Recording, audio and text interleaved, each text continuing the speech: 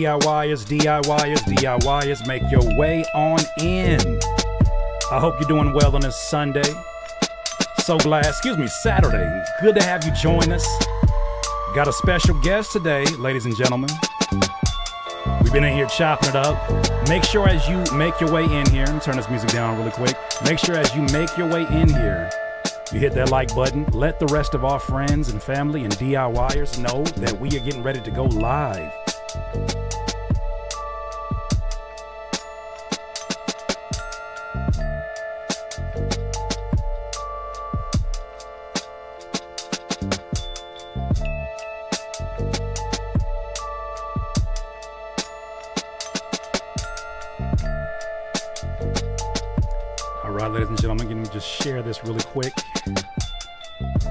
Twitter or X or whatever you want to call it.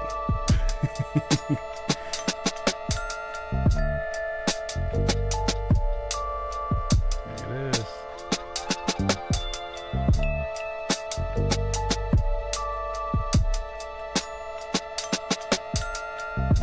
Boom.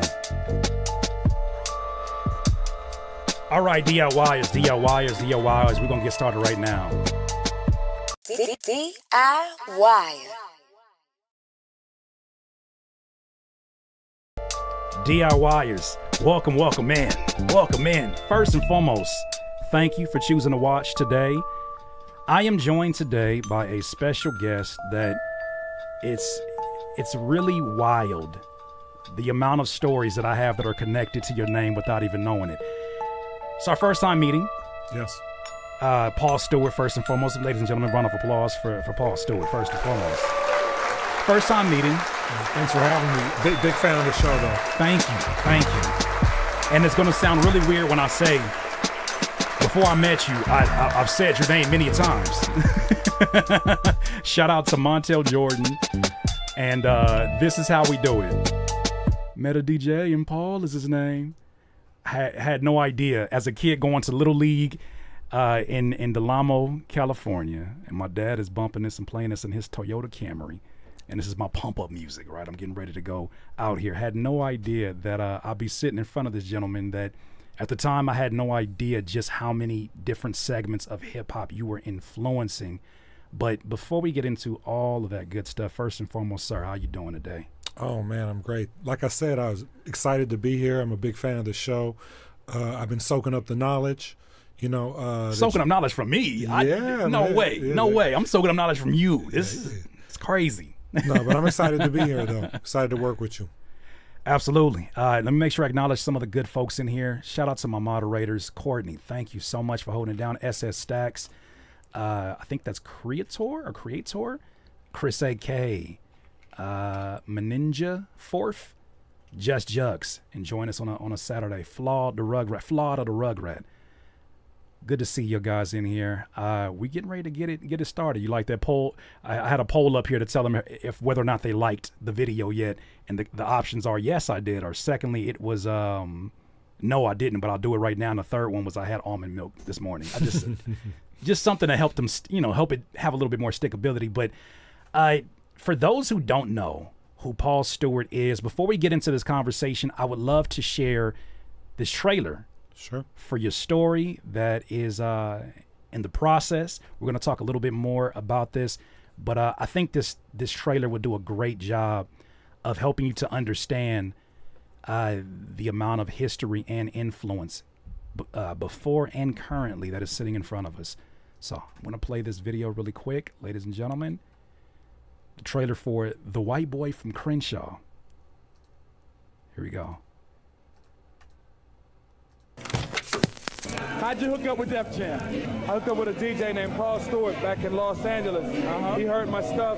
I was singing, but I was singing over a lot of hip hop tracks. So rather than take me to like an R&B type label, that he would try and take me to a hip hop label. And what better label than Def Jam? This is how we do it. So you start to hear about legendary folks that were behind the scenes. DJ P. If you don't know who Paul Stewart is, Paul Stewart, we got Warren G, his first deal. He got Farside, their first deal. Remember Paul Stewart? Paul Stewart. Paul Stewart. Paul was the guy that set it Deliver off.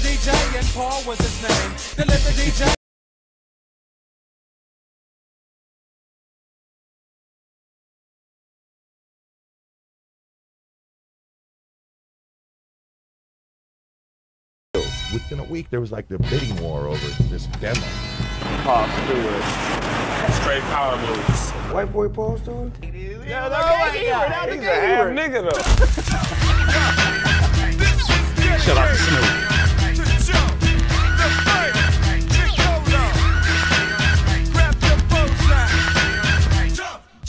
I was destined to have a unique upbringing. My dad decided to buy a house in a black neighborhood at the height of what was called White Flight from South LA. amazing, man. That's that is. You know, I, I I was thinking about whether or not to share this this comparison because I mean this respectfully when I say this, but I couldn't help but watch this and seeing all. For instance, I'm, I'm gonna just mute this really quick. I couldn't help but see certain scenes, and I'm like, "Where's where's the uh the NWA one?" Oh, right. it might have been a little bit before this one, right? Are there? Yeah, that that that interview. I, I look at all these different scenes. I've seen ones where you're in the background for Pac. I couldn't help but think of the mo- movie Forrest Gump, Yeah, yeah. where he's literally in every single one of these. Like you know, obviously it's for the movie, but you really live that. Where I'm looking at all of these legendary moments, and uh, obviously you're there for a reason. But for those who may have never heard of who Paul Stewart is, how would you describe? Oh wow. Well, um, I was really blessed that you know my dad was kind of a crazy guy, and he uh, he bought a house in Crenshaw when all the white people were moving out with like a quickness that Right. did live there, which weren't that many at all. But like he bought the house right after the Watts riots, and there was like this mass exodus, you know, of uh, of South Central LA. So I was really blessed to grow up in black neighborhood, South LA, Crenshaw, and that just affected me a lot. And I started DJing when I was in college, got into street promotion, and then artists started coming to me going, "Hey, I, I want you to manage me. You're like the only person I know that kind of knows anyone in the industry or whatever." And Right. you know, I had been DJing for a while, which really helped like hone my ear. You know, I think I had born with, you know, a blessing of just being able to, you know, understand good music or hear a hit, so to speak, you know. Right. And um, yeah, I just started discovering artists, uh, House of Pain, Pharcyde, Coolio, Warren G, uh, Montel Jordan, and yeah, and and when I f- was early getting started in that, I met John Singleton, and John Singleton uh, was impressed by what I was doing, and hired me to music supervise Poetic Justice. So Sheesh. yeah. And that's such a classic. Like that was another connection that we talked about before off camera in that the music is so important for any piece of film, any television show. And it just amazes me how many soundtracks either myself or my wife we connected first on music. How many of those you've been connected to? One in particular, uh, more recently was the the Insecure soundtrack, and your ear is just it's unrivaled. Oh, and, thank you, man. And when I think about some of the stories that led up to it, I, I, I thought about a few different ways to approach this conversation, but I really want to start with the uh, the street team era because I think there's so many lessons that you learn in that process that could benefit so many independent artists that are returning back to that. They're coming out the trunk with the promotion for their project. They're Sure. going back to physical, uh, a certain segment of the independence. But in the beginning, uh, what even led you to kind of get into that space? Well, it's kind of a funny story. I mean, I was um, young guy. I had worked at Delicious Vinyl when um, they put out their early hits, uh, uh, "Bust a Move" by Young MC and Tone Loc, and I was doing like promotion and marketing. You know, so I was like a young guy in the music industry. You know, trying to find his way and everything. And I, I had a couple jobs, and then um, my friend got a label deal with Island, and he hired me, and then the the label, you know, fell apart, and then I have a job. And so, uh, but I was friends with this DJ from KDAY, uh, famous um, mixmaster Curtis Harmon, and he came to me. And street promotion was very early stages, and he said, "Hey, um, this company wants to hire me to do street promotion. I, you know, I don't really know what to do. Whatever. like, do you want to do it with me?" Right. And I said, sure, let's do it. And I printed up business cards, and uh, like Curtis played it in the mix, and then I went out to swap meets, record stores, clubs.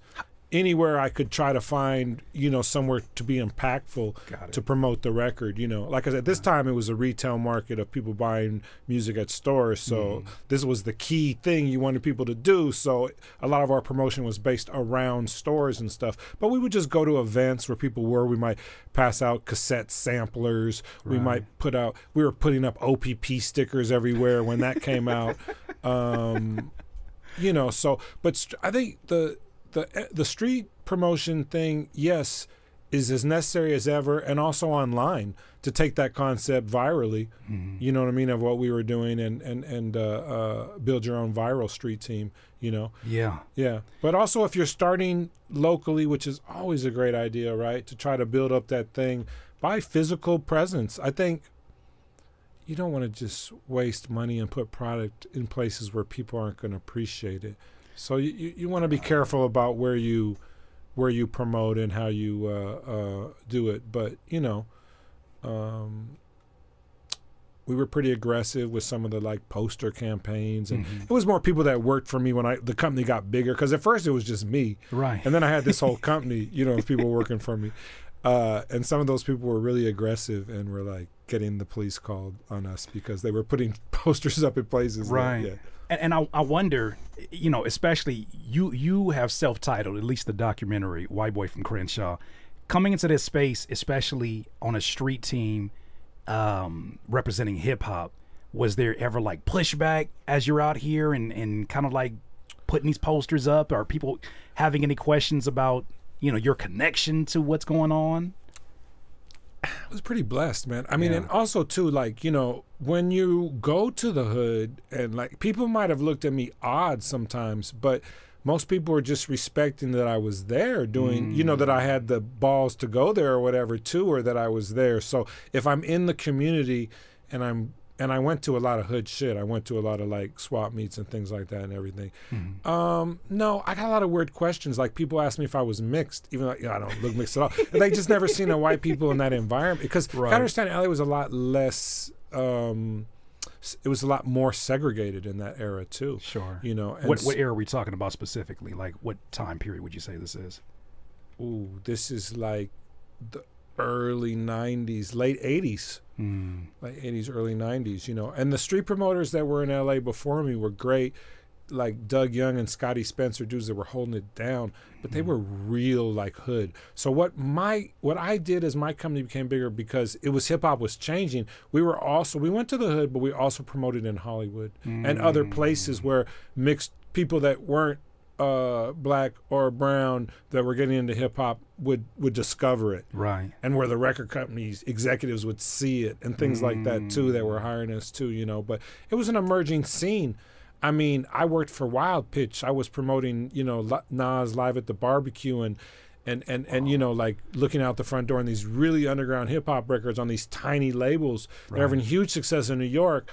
And out here we were helping them find that like niche core audience because it wasn't like you know getting any kind of big push. It was and it wasn't something that culturally was like huge out here or anything. That style of hip hop at that time. Sure, sure. And, and I'm curious as we kind of trans transfer from that or, or uh, transition from that, how relevant do you feel like a lot of the things that you learned during that process are now for those who are still promoting shows? Because you still see folks out there who are like a version of a street team, maybe not as as organized as what you had and what you were doing with your company, but um.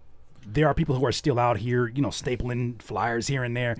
But it's a great it's a great Yeah. it's a great question well like you always say to be an independent artist right now you have to treat it as a business Mm-hmm. right and to be successful like to have much hope of success Sure. and, and you know and it's funny because this is not necessarily something new but it's not something that's been talked about or sounds cool. So many people didn't promote it but it sounds cool to be all organic and this and that. But it's, that, it's not it doesn't sound cool to have the team of people hardworking in the back so much except Right. if you're an independent artist doing it all yourself. That sounds really cool you know?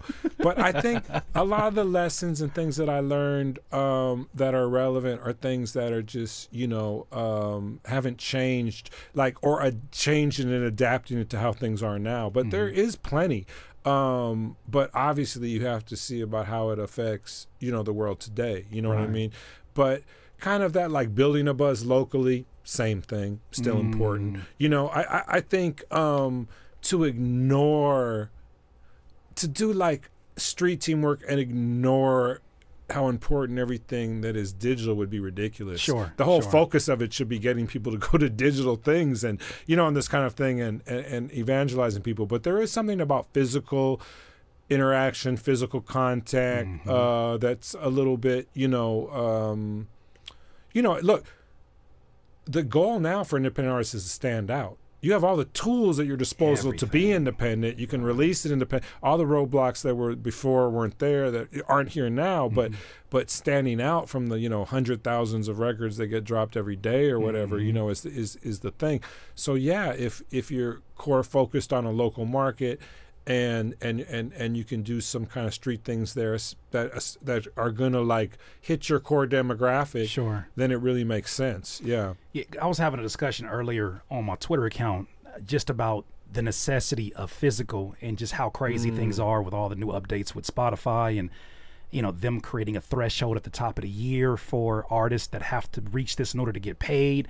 And so I found this reverse royalty calculator and I was just kind of putting some perspective that's been already been out there, but I put this perspective out here of one ten dollar CD that I sell to one person. We know obviously CDs are not as sure uh, much of the center focus, but one CD from having this, and I, I don't I think people underestimate how how much easier it is when you connect with a human being eye to eye, and you're able to say, "Hey, I have this CD for you." Uh, I just you you saw me perform and you you were impacted by it, but that one CD is the equivalent to two thousand eight hundred and something odd streams on Spotify, and you have to hope that these people have premium accounts on Spotify, and so there's a lot of people who are opening up to the idea. I don't know if you saw the stat that this was the first year that vinyl surpassed CD since 1987. So I think what you're sharing is so valuable because a lot of people are having to understand those uh, those foundational lessons. Yeah, I think physical for an independent artist in today's market, I think a physical product is a good thing. It could be T-shirts and things for sure, merch you got to have, but it could also be a vinyl album. It could be CDs, cassettes. You know, Yeah, I, I think having uh, the thing is, you know, you got to treat it like a business, right? So, like you said, you're a small business. So, if you're manufacturing those things, ooh, you got to get your numbers right on because if Sure. you under, if you over, if you manufacture too many, there goes your profit. If you under manufacture, not as bad, but wasted potential at profit you could have had, right? but you know, there's nothing worse. Every independent artist knows this thing of that box of 12 inches sitting in the closet gathering dust or whatever. You know, that sitting in a, in a garage that- Right, that, I right. would never buy again because it's just tie dye T-shirts that nobody wants right now, ever.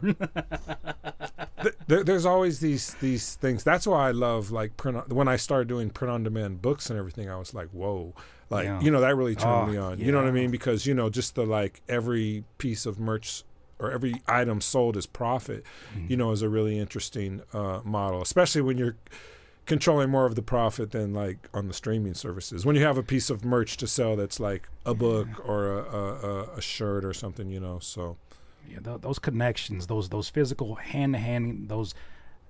I remember your face. I remember the conversation, remember the energy that com- all of those things. It feels like people are understanding because of, you know, living in an era where everybody, anybody, could literally pop up and have four million TikTok followers. Anybody could pose as an expert on something. Uh, it's always important to hear from those who have lived it, but not only lived it in one era, but multiple eras. And you've seen so many different fl- ebbs and flows of hip hop in general. Wh- where I want to kind of start the transition to is uh, you as a DJ. okay. When did that switch from, I guess, focusing, or was it at the same time that you were focusing street team and DJ? How did you kind of transition into that space? They really they really complemented each other. Okay. Because when I was doing street team, I was actively DJing at some really big underground clubs in LA. So I could just play the record. I knew all the DJs. You know, they were and I Mm-hmm. was also promoting parties, you know what I mean? So and it was like to a certain segment. It was kind of like a Hollywood like we like hip hop. You know, it wasn't like a real ghetto thing or anything. So Right, right. So that lane I was real plugged in. And then we would go and try to make sure we touched everyone else too as street promoters. So the DJing thing was like hand in hand, kept me in touch of what was going on. You know, I could play records I was promoting, seeing how they reacted and stuff. I mean, I, you know, I seen this old video the other day of me playing how I could just kill a man, and I was street promoting that at this party, and people were going crazy, and I was going, wow, you know, I'm, I'm double dipping, right? You know, what I mean? Right. But but I mean, you know. Um, at the same time too i had a column in the source and i used to write about all these records in the source you know what i mean? So i was giving people exposure. I was the first person ever to write about cypress hill you know? So I, Wow. I was just trying to do whatever i could to get involved in the industry and help promote at that time because i was so like you know i was street promoting. I was writing for magazines um Herb, uh, BAM magazine was like a local music magazine that I used to write for. I had a column in there called Urbam, And I, Urbam, right? And I wrote for the Source, and and then and then yeah, and doing this pr- promoting my own parties, DJing, street promoting for label. You know, it was all. I was L.A. Hip hop. This is a long time ago, so you got to understand that hip hop was much smaller. This is in the era where it's just starting to kind of go mainstream. Right. So. um it's a small community and everyone kind of knows each other. So this is what led to like artists like Everlast coming to me going, "Hey, I want you to be my manager," and, and people like that, you know, because and then when I found the Pharcyde, people it was in a hotel room at like three in the morning, we're all partying and stuff. Yeah, and the we- guy, we got to talk about Right. that at some point. But yeah, con- continue. I'm sorry. but the guy, the guy was like, "Oh, this guy gets people record deals." Actually, Ras Kass brought the Pharcyde into the room, but the guy whose room it was, this gentleman Lionel Brazil, said, "Oh, this guy gets people record deals." So, you know, kind of having that. Um, um, as as I started to get people record deals, you know, then my reputation grew into that. Mm-hmm. But it all came from me being the guy that everyone knew from like either DJing, throwing the mm. party, promoting the records. All the DJs used to come to our house to get the vinyl. You remember street promotion back then? A big part of it is giving records to DJs. You know, something that doesn't matter anymore. But you know, so we were, you know, something that doesn't matter anymore, right? But Yeah. so that was something we were doing. We were passing out vinyl. You know, but you know, I do think vinyl is a great um, tool for the right kind of independent artist. yeah. Um, I uh, got one. I mean, I'm, I have yeah. one now. My first one was uh, I've been doing 20 years. I had my Oh, first congrats. one Yeah. uh, this this year, but having it for me has its own feelings that attached to it. But I, I think I underestimated how much of my audience was like about time. Mm. We want to, and not even necessarily to play it because it's the highest quality of music, and not just to play because they have a record player, but they just want to hang it up. In the same way that you're looking up here, and I got Sade and Dilla and, Sure, and, and sure. Purple Rain. Uh, they it's just a want collector. It's a collector's item. It's collectible. there's value It's a support of you. Yeah, yeah. No, I think um, you know, vinyl is is like you said, it passed CDs and everything, and so yeah, and it's a cool thing. I mean, I come from DJ background and everything, Mm-hmm. so like I always think I just saw how like Peanut Butter Wolf uh, at Stones Throw like a few years Shout back was him. killing the game with like these kind of like limited vinyl releases Mm-hmm. of things, you know, because if you I, I, everything everything is not right for everybody.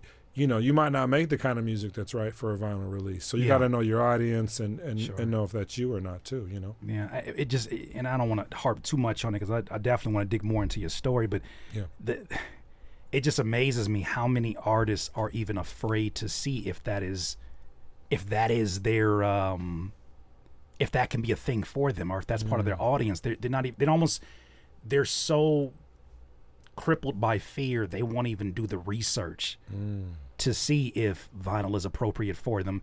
And um, you know, you, won't know until you make that investment. Just like any any business, you make that investment, put it out there, and see what it is. But I, I think a lot of folks will be surprised because of the the novelty item it, it represents. I made this tweet today, and I want to share this with you and get your point of view. Yeah. It's amazing to me that the kids of the parents of 1975 that were buying pet rocks, Right. slinkies, Right. These artists are afraid to sell them compact disc or, or, or, or, or a vinyl with your Right. artwork on it. Right. And uh, I'm like, what are we afraid of? What are we really afraid of? You know, let me just not think there's enough of an audience for it. I don't know. You know, when um, my ex-wife was really talented DJ, uh, DJ Smiles Davis, and when she first started DJing, I was retired from DJing, and and she was getting started, and it was the Serato was just kicking in, you Mm. know, and she was like, and she was working at Amoeba actually at the time, and so and I had some vinyl, but I had gotten rid of most of my stuff too, and so she was like, oh, you know, I want to get vinyl and everything. I was like, you're out of your mind. I was like, you know, I think DJ Premier had already like, you know, started using Serato or something like that. So I ran into him on a plane. He was like, yeah, I'm using this shit, you know. So I mean, it was just like I told her you're tripping, you know what I mean? Like, you know, but she had this fascination for and and and and, and everything for it. And of course i have this you know reverence for it and everything. So i mean it's like also like when i started my book publishing company and i did this uh, book with mike miller it's out of print now but it's called the um, history of west coast hip-hop man something having that physical product. And the same thing about like as a record company owner which as an independent artist if you press your own records that's what you are right? Uh, you know or, or if you have a label however you're involved having that physical product of a record is pretty special Yeah. uh, especially just with hip-hop and the history of hip-hop and vinyl. You know what i mean? So uh, yeah i think i think it can be cool. At the same time like i said you know i'm not a I'm not a technophobe. I was telling you before about the. I, I saw this podcast about my man Austin. It's not my man, but this dude Austin that works for Atlantic Records uh, in the UK is from Spotify, whatever. Was talking about old dudes just singing. I, back in the day, I did this and everything. Like, what have you done for me lately? You know, like you know. So I Yeah. definitely, definitely happy to tell Tupac stories and all that, but Man, also yeah, want to get to want to get to the get- practical, like because we got so much practical Yeah. uh, things that we can tell independent artists about about um uh sync and everything you know Right, about, ju- just about music in general but definitely when we get to the sync thing that's like like my real expertise at the moment you Yeah, know? and I'm I'm just I'm just kind of moving it towards that yeah. direction. Yeah, but yeah. but just so the audience knows, uh, I definitely want you to understand. Just I mean, we, we had one conversation thanks to the homie Thurs who connected us. big thanks to Thurs. Big thanks to Thurs who connected us. And having this conversation with him for the first time on the phone, there's just stories that are like, it never for one second felt like flexing. It didn't feel like mm-hmm. you were like, oh, I'm trying to val. You just were telling stories that were just your experience. And that's something that was like, you know what? There's so much history there. And we all know history is bound to repeat itself. This is why I'm always, I wouldn't call myself a historian, but I, I mm. definitely do my research because I understand the answers we're looking for are not just in going to appear out of thin air. They're here. Someone's done it before or done a version of it before. And so um I'm curious. You alluded to you were the guy that people were coming to at some point in time if they wanted to get a record deal. How did that happen? How did that come to be? Well, because I was so much in the mix, you know, I was promoting like this club called Water the Bush, which was like a legendary hip hop club where we Mm-hmm. had like all kind of Public Enemy, De La Soul, X Clan, Right. all kind of people perform. Um, and I was just involved in the mix. Um, artists started coming to me and saying, "We want you to be my manager. You know, help me get a record deal." Because that was that was the thing back then. You know, you Mm-hmm. make a demo and you get a record deal. So long before the internet, kids. The demo. And- yeah, Yeah. And so, um, first client was this woman, Vicky Calhoun. She sang backgrounds on Red Hot Chili Peppers and stuff. And I got her a, a like what they called a demo deal, where the label put up some money to record some professional demos. And I got her a deal with Quincy Jones's label, um, Quest Records, and um, um, then the next person was Everlast. He came to me and he, he had just done Cypress Hill was just bubbling and starting to like uh, come out as a group, and he's like, I need my own manager outside of that. Yeah. And um, I started shopping his demo, which had Jump Around on it, like un- unchanged from how it came out. And labels told me no and this and whatever. But you know, I got him a deal, and so after that, like I said, I was still doing street promotion and I was like doing some management and um, I was at a hotel room at the at a convention the, in San Francisco this this used to be this music convention called the Gavin Convention. It was a music industry journal trade, and it, we were partying like you know smoking, drinking like three in the morning, and and Ras Kass brings these guys up to the room. He's like, they're a rap group, and the guy whose room it was said, "This guy gets people record deals," pointing to me. Wow. And it was there was a guy that worked at Tommy Boy there. He was a marketing guy. Right. there was a few other people in the room, but I had just gotten House of Pain the deal fairly recently, I guess, you know. Mm-hmm. So he said that, and they got in a little huddle, and they uh, they came out and started rapping "Your Mama," and they were like jumping up and down on the beds and the thing, and talking about your mama ate 82 burritos at Taco Bell, and we were just crying. We're all faded. It's three in the morning, you know. right. I remember the next day I was asking my homie uh, Malik Levy that I worked with a long time. I was like, "Were they that good, or were we just that faded?" It's like no, they they, they No, they were that good for were sure, good, for right, sure, right? so after the Pharcyde, I kind of got my shit together because Mm-hmm. I didn't really. Uh, uh, I had had the wrong attorney when I was working with House of Pain. He was like a big attorney. No disrespect to him, but I was too small on his ladder. He wasn't giving me any any juice. So you got to get the right person for you. That's not like you got to network across. Like I Mm-hmm. had the big music attorney, but because he didn't care about me when I was doing House of Pain, he didn't get the management contract Mm. signed in time, and I ended up getting screwed pretty bad on the deal. Wow. No disrespect to Everlast, he got put in a really bad situation that he kind of had to do it. Really. right, right. But um, but with Pharcyde, I had my shit more together. I had found a young black attorney who was trying to come up. He recognized my talent, Mm-hmm. and he said, "Okay, I'm gonna help you." You know, because I wasn't paying any of these attorneys. Right. Like they were getting their money out of the back end type of thing. You know, so he helped me get the Pharcyde signed up to a management contract. Um, I got them their deal, and then I found Coolio, and um, and then and then I met John Singleton, and so that kind of, that's what took me, you know, It's- in, into the music Right. supervision line. So one question I got about that day after you said you you, Yeah. you, you guys were, were kind of like intoxicated when you were Right, listening to him right. at first with Pharcyde. What was it about the Pharcyde that you saw now with the with with the sober mind, fresh day, and you're Everything. listening? Oh, what, what they was were it that you saw? so up my alley. I mean, look, we're from LA. Like we're old school hip hop cats. If you were around this dialect, so I grew up on New York hip hop. Like Mm-hmm. loved LA hip hop with DJ Egyptian Lover, all this kind of stuff Right, and right. everything. you gotta understand, but like NWA was not like everything to us. Like they Mm. were great, but we that was not everything that we were. Is what I was trying to say. Sure. So we were much broader than that. And LA was pigeonholed as like this gangster. And we loved Cube. Of course, we loved Cube. You know what I mean? But it's funny, you know, I, when I met John, I was working for Ice Cube. I was working for Street Knowledge Records, and I was managing the Pharcyde, and he liked the Pharcyde. Cube liked the Pharcyde. Of course he did. They were cool. But it was just fresh. It was different. Everyone's talking about how they you know, they're they're macking your girl. They're talking about the girl passed me by. It was that Right. reality thing. Like it always that always appealed to me Vulnerability. my whole career, Coolio had I'm standing in the county line for free cheese, but I always was attracted to that more of like a reality thing, you know. Mm-hmm. And they were just dope. Uh, they had they had bars, you know. Sure. They- it was fun.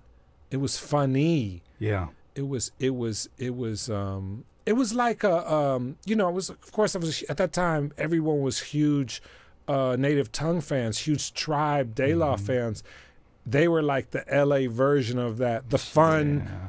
the fun little brothers from LA of Tribe and De La. Right, You know, the like jokester little brothers. So like those guys got it immediately. You know, we connected with Souls of Mischief when we all had demos out and they clicked immediately.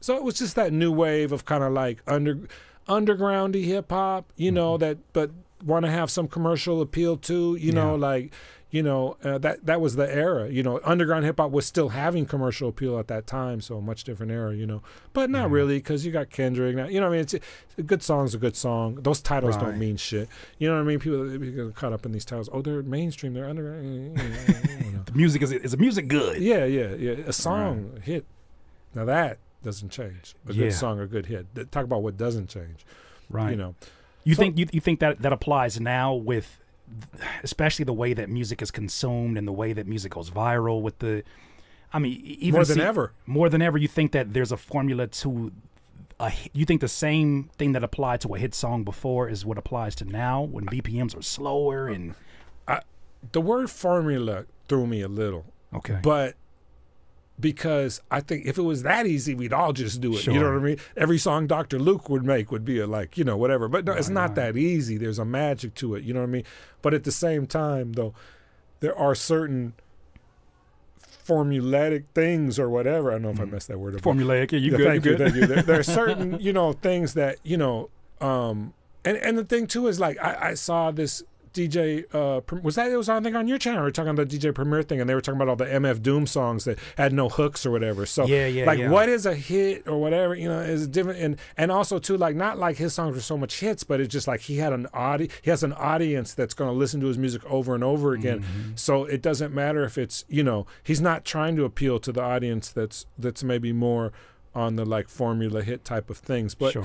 but but there's things there's basic things. I mean like you know chorus man the hook man like you know it's like it's all about like it's all about the chorus and the hook man and you, you know you got a lot of like underground artists and it's just like they kind of like they use their same voice in the hook, which can work great, but it can just get real repetitive. Like Yeah, you just sure. you just overbarred me. You just rappity rapped me to death in your verses, Mm-hmm. and then I'm hear your same voice in the hook, and you wonder why I'm bored and I'm listening to mainstream. You know why I'm listening to Drake or whatever. Like you know, I mean, it's just like underground artists got to make their music appealing, or they can also go in a direction that's really like I'm gonna dive into this. I'm gonna have super long intros. I'm gonna make this kind of like really interesting artistic music. My visuals are gonna tie into that, Mm. and I'm gonna try to like have that audience that Joe Budden had after he.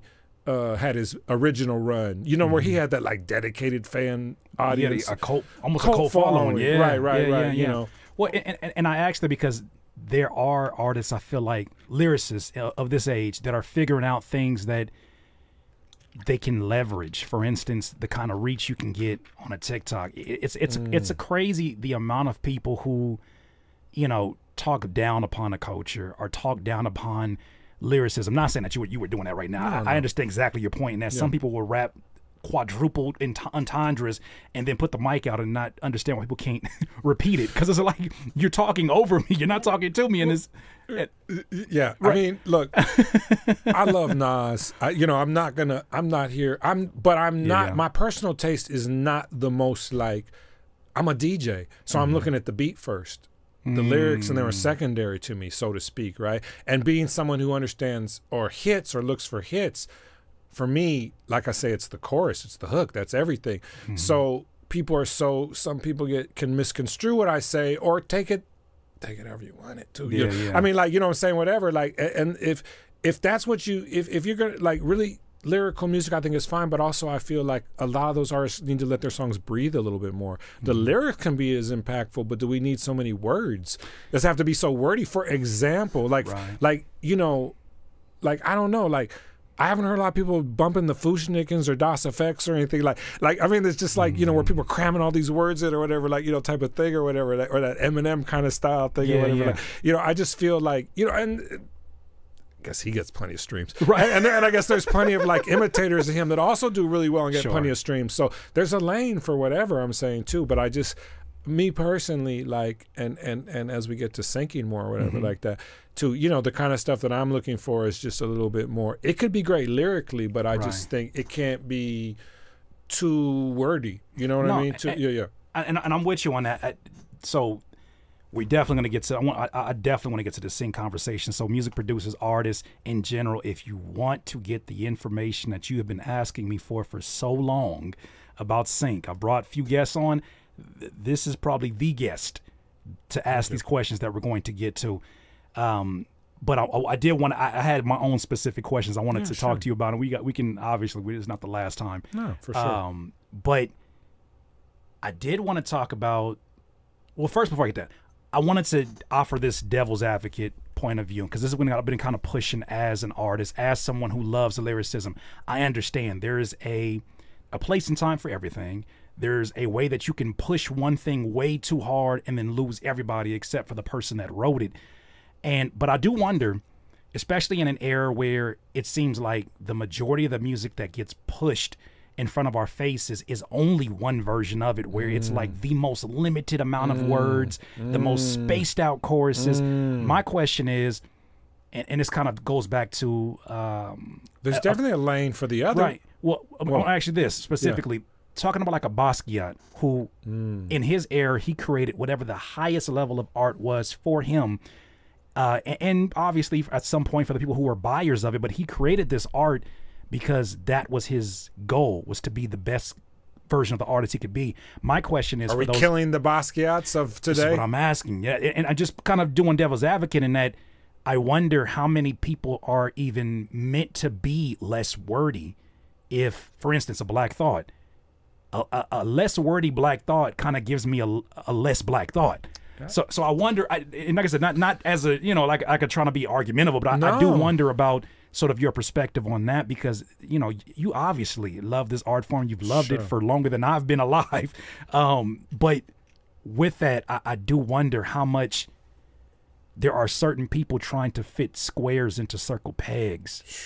I, I think it's very well put what you said and like i said i mean my personal opinions are kind of seeping out a little bit into this a little bit more too than than maybe you know. But like I said, there's the lane for everything. I mean, you look Mm-hmm. at J. Cole and Kendrick Lamar. I mean, look how successful these artists are. I mean, they're huge lyricists, right? I mean, you know what I mean? So, I mean, to say that you can't be a successful lyricist, I think is just like, is not true. Right, You know what I right, mean? For right. sure. But um, the most of the underground rap that I hear when it's like presented to me, it doesn't give me that golden era feeling. Mm, what do you think is missing? If you just kind of like had to pick it out the air, what what kind of things or elements of it do you think are missing? Because there's some people right now Yeah. who I think believe that they're like an extension or they're part of that lineage, and in some ways they are, but Sure. sonically they're not able to capture these things. I know some of it has to do with the hardware and the Mm. warmth of the analog gear for some things, but as a DJ, as someone who has the Mm. ear that you have, what do you think it is that you're that you're hearing? Because I'm sure they even submit this for sync as well. Well, the the thing about that too is that mo- what made the golden era so great was all the samples. So it's hard for sync. But if you're doing that today and you're sampling, you know, and, and does it? Why does it not sound like still the old stuff or as good? Have the energy of that or whatever? I don't know. I think it's a few things. I think um, maybe some of it is like a little bit of like like I said the fun like not that all old hip hop was fun but you know anything like that but there was a certain energy to it uh, of a lot of things that was kind of like uh, you know everything's like so cool tr- trapped out like this kind of thing now or whatever but that it's kind of lost some of that or, or I'm sorry we're talking about the artists that are doing it Right, right, right. the golden era. Yeah I don't know. I mean I think that it's hard to recapture that too and also like if if they're talking about some of the same topics and things that we were talking about back then, it's kind of like, oof. It has to be a fresh. It has to be like Kendrick. It has to be a fresh take on it. You know what I mean? And musically, and some degree. musically too, Right. because it's like I love the golden era hip hop, but I don't listen to too much of it because sonically a lot of it doesn't hold up for Mm. me. Like with you know with the newer stuff, you know what I mean. You listen to some of these records and they were great at the time or whatever, or the, and there are some things that are of the time and there's some things that are classic. You know what I mean? Yeah. So I- don't know. I think that a lot of the newer artists that were inspired by that era, which I know there's tons of, and probably a lot of your listeners too. Yeah. I think they need to find inspiration from you know the Kendricks, the J Cole's, the the Denzel Currys to some extent. So just the art, lyric artists that are doing it today, uh, and and also try to tap into what was great about back then, maybe a little bit. You know, I definitely um, think that yeah, you know, taking yourself too seriously and not having fun with it is is a bit of a a bit of a thing. You know, I did a story on um, a what is it? I forget the name of the term, but basically there's an era of music that exists within the independent space and on the mainstream space, or the I'll just say the the traditional music industry space that is like disinterested music or like um, disassociated music is what it's called. This this person wrote an article and they were saying that there's artists who l- literally their entire delivery is about being disassociated from the topic at hand. They could be saying the wild. Think about like Drakeo the Ruler, for instance. Mm-hmm. They'll have they'll say these like really crazy things, but they're not even surprised by it. They're not even showing you. Right. Which is why I love Pharcyde so much because in the moment they're showing you the Busta Rhymes. He's showing you in the Right. moment like ooh ha, like he's Right. the passion is is is. But it seems like a lot of things maybe that are um, reflections of the time. Maybe these are post-pandemic rappers. Maybe these are folks who are looking at you know a bleak economy. I don't know what all the the things may be but uh, you're absolutely right. And then i wonder how many of these folks are just carbon copies of what they love from the golden era. And if they would even be accepted with open arms if they were doing the carbon copy back then when that wasn't the cool thing. No. you know what can't i mean? bite. can't No, bite. You no, can't do yeah, that. yeah. no, I mean, you know, like when Jay Electronica was coming out, putting out them records. I mean, there's all kind of artists that keep coming that be like, this is a new invention of this is the same flavor of what was happening before. You know what I mean? Right. But a newer version of it, which is great because, I mean, hip hop evolves, people evolve, people's tastes evolve. I mean, I Mm-hmm. think like I, I just go listen to that old stuff more or less if I want to. You gotta, you know what I mean? Like Mm-hmm. you know, like when Mos Def and Talib came out, they brought something new to the, you know what I mean, or whatever. Fresh So- energy, right, yeah. right. You got to bring a fresh energy. You know what I mean to Mm-hmm. um to it, and I I, I think that um. Uh, some of some of the artists that are in this space are doing kind of a formulatic of their thing. Right, and it's right. kind of tiring. You know what I mean? Nobody wants you. I yeah. keep saying this on Twitter. Nobody wants your your impersonation or your rendition.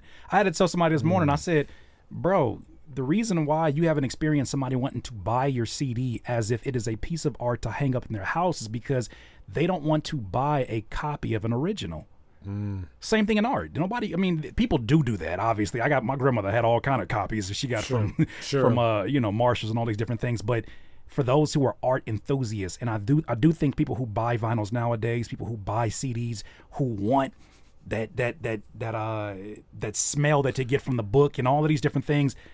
And then also too, there's it's funny as a teacher that was on my timeline that said that his elementary kids CD CD man you know the, the CD I'm sorry the uh the CD players and the uh the what was the tape player one what was the, The one cassette, uh, mean? not even a cassette but the what was the oh my Eight track? no no no it was a CD with the headphone why am I why is it A escaping Walkman? me yeah the Walkman I'm tripping uh he was saying that the Walkman is such a new experience they're looking at this like you hit the rewind here, you hit the fast forward. Wow, if you push these two together, it does this. So they're wanting to experience it almost the same way you read in this book called The Tipping Point Point by Malcolm Gladwell, where he said there were hipsters in, in New York, the art community, who started wearing hush puppies when hush puppies was almost getting out of business. And they rejuvenated that entire market because of their curiosity. Mm-hmm. So the, the way my ex-wife wanted to mess with the vinyl. right. Right.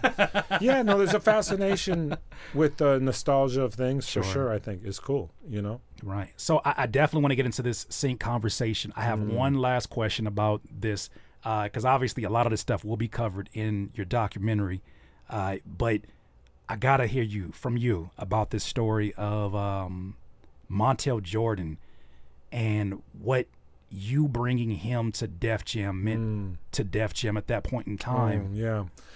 Well, you know, it was a crazy time, right? Because, um, man, I owe so much to John Singleton. You know, all praise to John. I was, like I said, I I had a job. I I was doing the street promotion thing, and a friend of mine said, "Hey, Ice Cube is looking to hire somebody to do street promotions and marketing for Street Knowledge Records." Okay.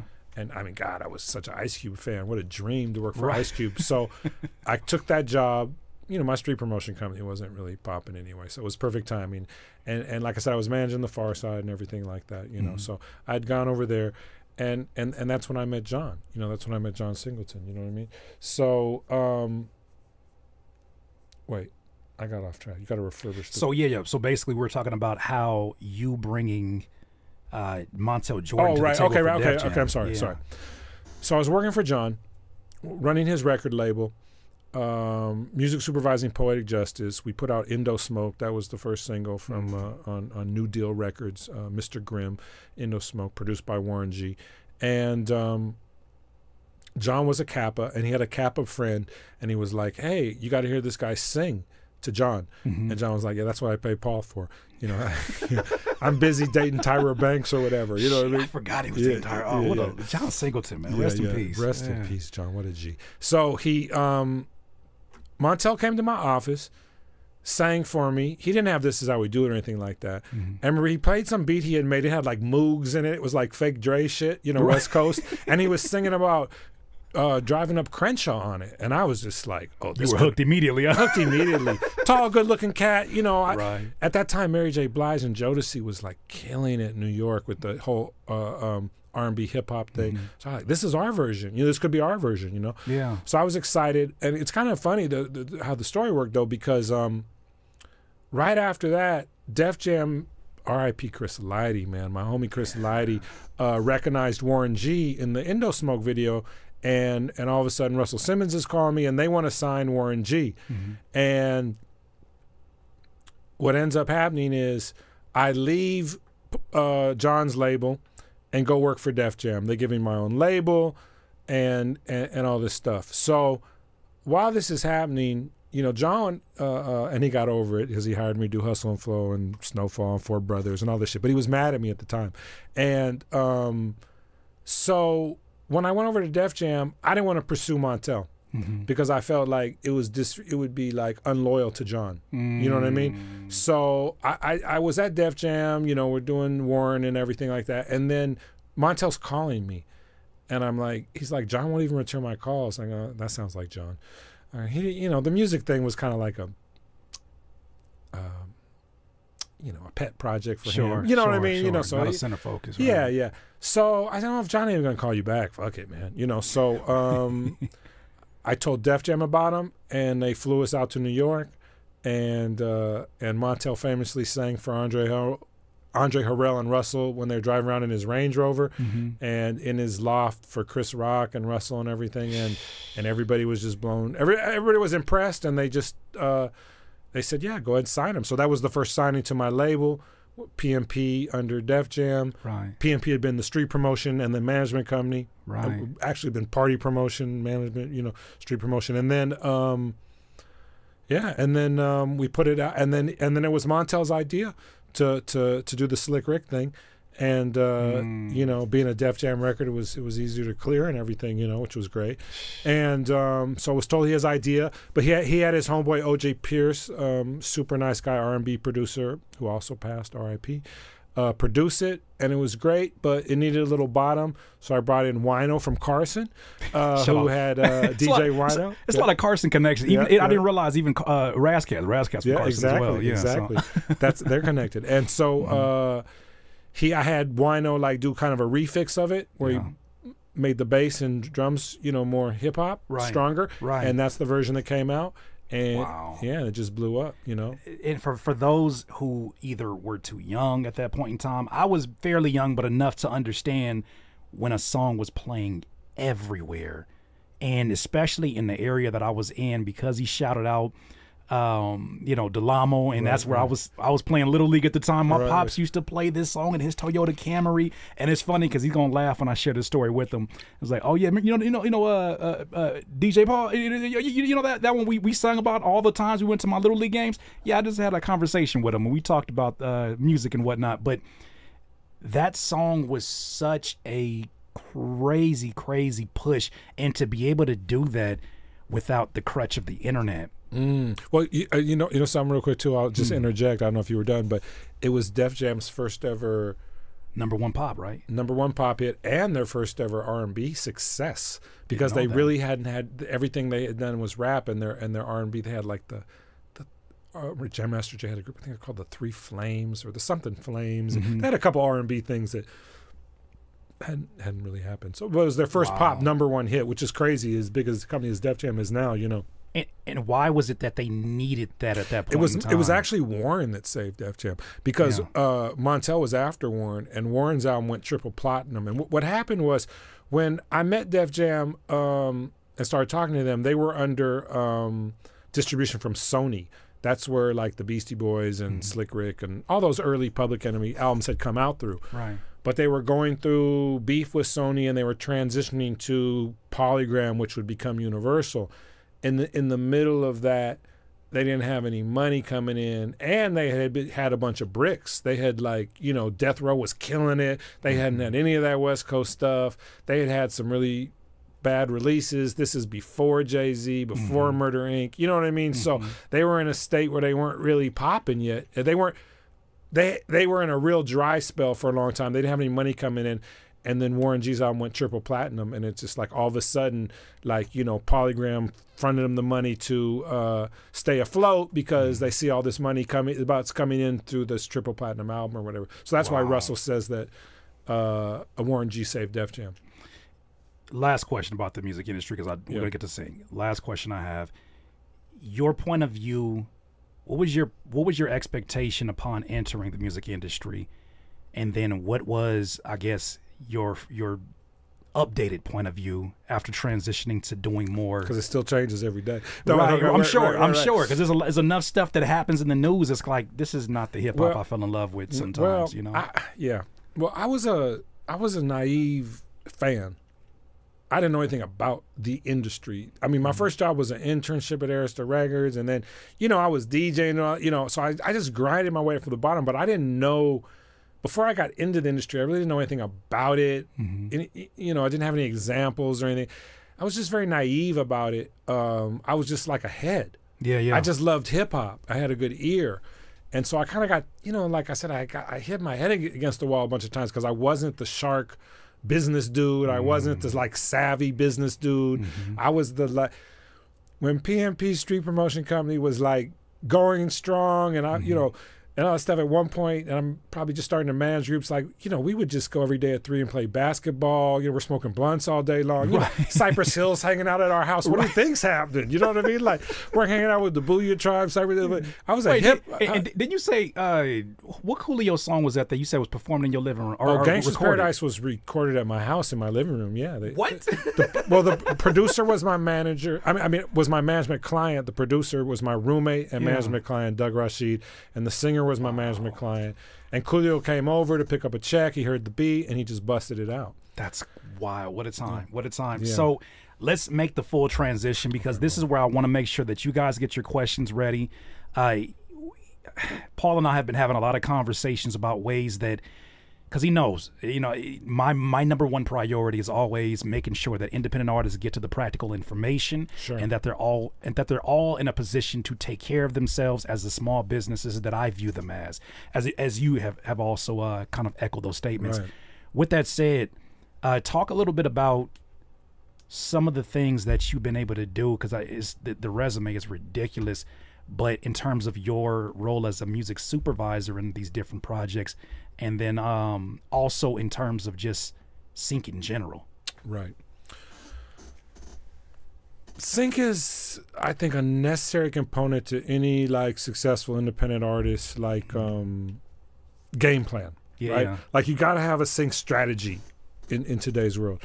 You know, um, it can be really focused. Like there's a whole segment of independent producers, especially producers, but also artists that are making their living from sync mm. entirely.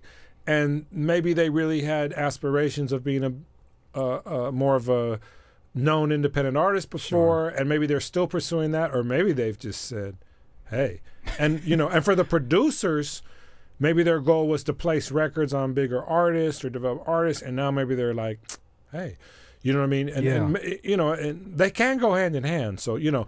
But um, yeah, one thing I thought would be helpful is to kind of talk about the different strategies. yeah right? because Right. yeah, talk about a different strategy because you you gave me some game that i wasn't i wasn't aware of because anybody who knows i got my horror stories when it comes to sync opportunities that i have been given and i had no idea they all fit in pretty much the same category and i hadn't really experienced the the totality of sync and you kind of gave a name to it but i've had these situations where it was the headache of talking to someone who doesn't know how to properly uh, express what they want you to do musically, having these very strict d- guidelines and strict deadlines, giving you references that don't really make sense on paper or or audibly, but they want you to pull off these miracles and then pull them off in a crazy time period, mm. and then do 40 and 50 edits. I'm not kidding you, 40 and 50 edits that could be literally derailed by having the wrong video editor in part in the, of the process that just messes the syncing of everything up gives you the wrong give version you the wrong something, or, yeah. and it's just so many headaches that I didn't anticipate. And so, uh, a gentleman that I've talked to uh, about this before, named Clint Music, he didn't give me that exact thing that you gave me, but he kind of alluded to that it's a whole nother world outside of it. What was the term that you gave those particular opportunities that I had that were sync? Yeah, you were in the commercial ad world, right? So, I mean, the commercial space, you know, is great because they pay a lot. It sucks because often the experience is exactly what you said. Ad agencies are hired to help the music and it can go from I've seen it go from like so crazy like a commercial like yeah we're thinking about using Led Zeppelin how about some drill shit like what like you know like just from I'm not a miracle worker. What just like doing? all over the i mean just you know and like you say the references are, are very hard to explain everything like that yeah. this is a world that i don't deal with too much because i found it frustrating and my producers and teams of people i work with found it just too frustrating you mm-hmm. know what i mean? Mm-hmm. And most of the people that work in that world work exclusively in that world. Mm-hmm. Now aligned with that world but a little different more civil little more civilized and a little bit better is kind of the promo trailer world as well. Okay. Trailers have really specific music needs. They, if you watch trailers, they all use this stuff. Like they'll take an it up. Aerosmith song, but they'll make sorry, they'll make it like a trailer version or whatever. they all have to have these huge things. Uh, that- Jordan Peele will do. Remember, he did a "I Got Five on it, but like a cinematic version of that. So Right. that's very specific, and everything is to a to the edits, to the cuts, right? Right. So And, and then there's like the the melancholy, like your heartfelt like things for Sure. trailers. But there's a couple very specific things. Promos for TV, like ad stuff, can be a good space that's kind of close to those, but better because they don't really do all the edits. Um, they can tend to pay a little bit more, but it's usually they're just taking like pre-existing works or whatever. I work in film and TV mostly, and we don't ask for no 40 edits. We don't usually ask for any edits. We just take where have you been my whole life? yeah, we just take the material that's pre-existing, and if it works, we place it. Yeah. Sometimes, depending, is like like when I did a movie like Hustle and Flow or something, where mm-hmm. they're going to be performing the music. Yeah, there's a lot of edits then, because you know we're writing music that's going to be performed on camera and things like that. But typically, no, we're we're finding pre-existing pieces of music and fitting them into scenes where they work well Yeah. you know? So mostly for film and tv is usually done like that. Sometimes people write things. What happens a lot too is in my world is someone will fall in love with this black eyed Peas song but then when they try to clear it they're like whoa you know we're not paying that. So then they come to me and they go hey we've already cut the scene and everything to this mm-hmm. black eyed Peas song and so then we'll make something that has the vibe of the Black Eyed Peas song, but won't be so close that now that's a work for hire that is done that's closer to what your experience that you were talking about. But um there aren't all the edits. It's not changing an original piece. It's creating an original piece for this exact thing Makes sense. the good thing about it is whatever they're trying to clear Eminem, Kanye, Black Mm-hmm. Eyed Peas that they can't afford, and it can be just some little baby group signed to Interscope but Right. no one's ever heard of or whatever. But whatever it is they're trying to clear that you're knocking off a version of, making a new version of something similar but not close enough to get sued, Right. it's probably going to be very placeable because there's probably going to be a lot of needs for that kind of a song because the s- needs tend to be somewhat similar over the music film tv needs we do need everything there's Mm-hmm. The scary ghetto scene where they need the scary music. There's the uplifting you know Yeah, yeah. emotional scene. There's the you know every kind of particular kind of Luxury car chases. right. And all these anywhere things, any kind of thing you can imagine. Typically like i mean i've been doing this for 30 years. Almost everything has come up. You know what i mean? Like Right. you know especially when you start doing period pieces or just different kinds of movies you know that maybe aren't straight ahead urban or whatever. But yeah I was gonna say your ear, man. Your ear is phenomenal, especially when it comes to what I assume are some of the the the duties or even the qualities of a great music supervisor. But for those who may or may not know, what are the responsibilities of a music supervisor? Mm. That's a great question. A lot of film producers don't know. A lot of people that should know do not know. And the job is also it's it's it's a weird, very strange job. I always tell people because there's the part that you just talked about, the super creative part. Like we need to find the perfect music to match this scene, Mm-hmm. and this is a part of it. We have to expose people. Like when I worked uh, on Insecure, I was turning Issa on to like Jungle Pussy and all these like crazy new because you were taking like abstract artists, and that that's when when I heard songs, I'm like, I Well, just that's heard, you I gotta just saw give this her. you got to give her the credit because she I- I had the figured, yeah. taste. But I did present her with a lot of things she wasn't familiar with that she ended up using. Okay, so Ah. you know, but you're only as a music supervisor, you're only as good as the taste of the people who are making the final decisions. You're just usually you're presenting things. You know what I mean? So. So there's that whole creative side, which is great and fun and wonderful, and that's what everybody wants to do. Everyone that says, "I want to be a music supervisor," they want to do that part. The other part sucks. The other part is the administrative part. You have Mm. to do the licensing. Every once in a while, I'm hired only to do the creative part, but it's very rarely. So imagine I'm clearing a song like I'm doing Ol' Dirty Bastard's biopic right now. You know, these songs have samples, they have mo- Mm. producers, writers. So every all four or five publishing companies, maybe, or at least two or three, all have percentages of the song. So, you know, you have to come up with, you know, a price that everyone agrees to. You have to get everyone to sign off on licenses. The administrative part is like, and even if it's an independent artist, you know, uh, uh, you know, everyone who's involved in the song that has any ownership has to sign off. That's its own unique set of problems because you're dealing with people that don't necessarily understand uh, what master rights are, who owns what publishing or whatever. You know what I mean? So that creates its own kind of situation. But but you know, so you have to deal with all the administrative part of getting the licenses signed so the music can be used, and that's Man, that sounds like eh, someone said it here. It sounds like a headache, or it can be. is. it always is more or less. So, so, so what keep after after all the experiences you have had and and continue to have, what kind of keeps you like your vitality so high and all of this? Like, what what mm-hmm. keeps you excited about mm. Going Okay. to that next thing, knowing that you have all this administrative work to do in addition to it? Right.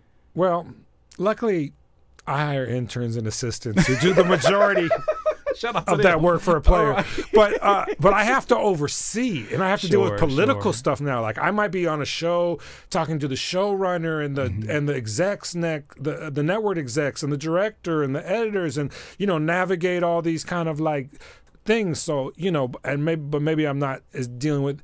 But I, and then I have to step in on the administrative stuff and make sure they're doing it right, show them how to do it, oversee it. And so it can be, a real, and when people act funny, that's when it's really a headache, you know.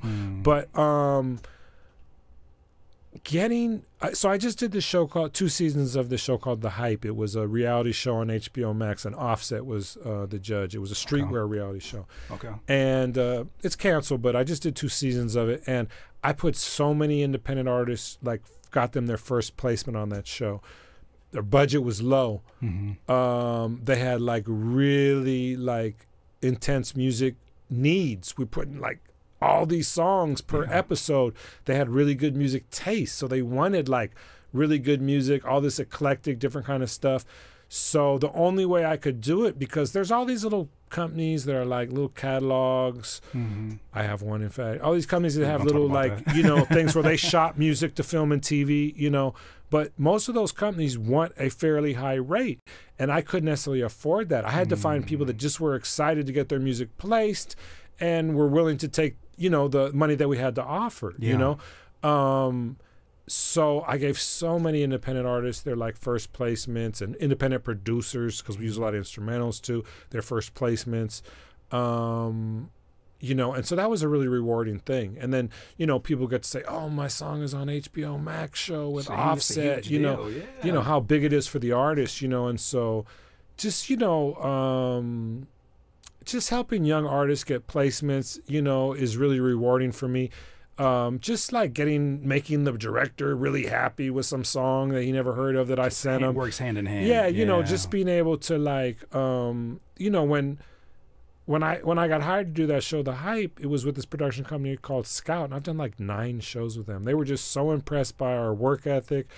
Um, both the creative people were really happy, and then I made the producers happy with the workflow and all the administrative part. It's like equally important, and it- you know, as your person said, it's a headache, so we had to handle that. So, you know, just by making people happy, like my clients happy, especially on the creative side, you know, it's just really rewarding. You know what I mean? And and then when it's like an artist and they're stoked, you know, I mean, um, couple years back I got 2 Chainz a placement, you know, and it was really cool, you Nice. know. and, uh, yeah, I had just met them and they invited me to the show and I'm smoking big with 2 Chainz and everything. You know, you know and I really like just, I, I just really to add amongst the collection of Yeah, of, like, right. of this just because you just, I look at all the pictures and I'm just like there's no way one human being has that been Forrest able to Gump thing. Yeah, yeah. because I'm looking at I'm looking at like you know people who are obviously in the front of the camera all the time Right. who don't even have that kind of Oh, like you have been invited to so many different rooms for a reason people need Paul in the room Man, you know what's crazy? it was kind of like a domino thing for me. You know what I mean? Because it was like early on, I started finding those groups. So the artists were like, you know, you know, like, oh man, this dude get people deals, everything like that. And then it was like, you know, I worked for I worked for Ice Cube, I worked for John Singleton, I worked for Russell Simmons, like all directly, closely learning from these guys. Yeah. And then like, you know, that kind of like people later like, oh, he worked with Russell, he worked with Cube, he worked with John, you know, like John was impressed I had worked with Cube when he hired me. You know what I mean? Right, right. And so it, it it was a bit of a domino effect, you know. So I mean, I think, um, but also constantly reinventing myself, like you said, like that that that Forrest Gump thing in me, like you know, just keep like let's keep going and part of my i think i've been blessed in that like i have that personality like i'm listening to new music like i'm you know like i'm i'm excited by new music coming out now i'm like i mm. can still recognize what's good in new music. I'm not just like can only like dissect a Tribe Called Quest album, Right. You know what I mean? So it's like that that like um skill set Mm-hmm. or that kind of like which I, I feel like I, I DJed for like 15 20 years so Sure I really helps. feel like I yeah I owe so you know because when you're DJing man like you know that like pressure of keeping people up on the dance floor is like hardcore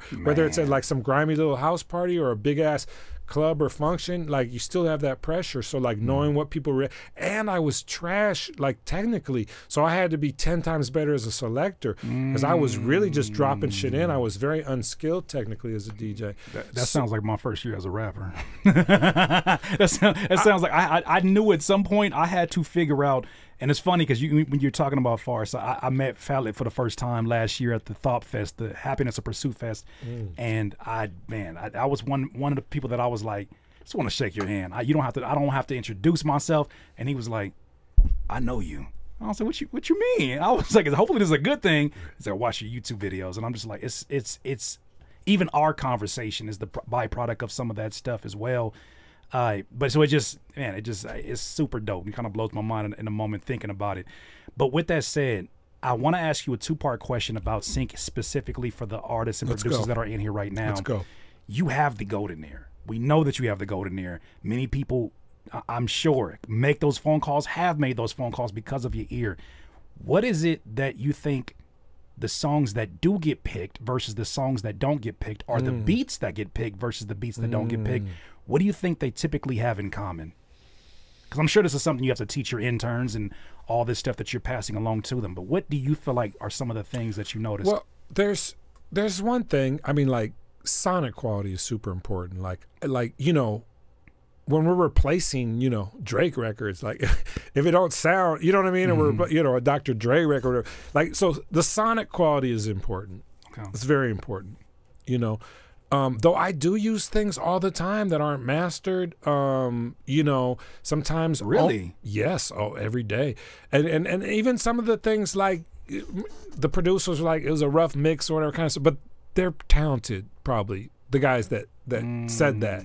They're putting out clean stuff. You know what I Mm. Mean? Like you know, Not it- to their liking, but it's still they could they could maybe with. cranked it a little harder, but it's still going to be like it's that back to back test. You, Wow. if, if I play a, some any kind of major artist on Spotify and then I put your record on, as long as it just sounds like it fits there sonically, then we're fine sonically. yeah. Right, right. So that that's that's just important. Then you know, like good advice is to study what's syncing, You know, because there are all kind of type of needs. So it is hard for me to go, oh, feel good. Though there's not enough feel good for sure. You know what I mean? Like you mm. know, but you know, tension. You know, like we and for these reality shows for instrumentals, we used a lot of like hip hop trap records because they're so like tensiony and and the reality show they're trying to like show tension between the situation so they worked really good you know what i mean? And it's a current sonic sound that mixes in well with like the songs or whatever maybe that we're using you know what i mean? So i think um one thing like when we for these TV shows that everything that I've been doing for a long time that and this wasn't so much the same on film but they might ask for it later if they're using it. Like we give them the instrumental version right when we give them the song mm-hmm.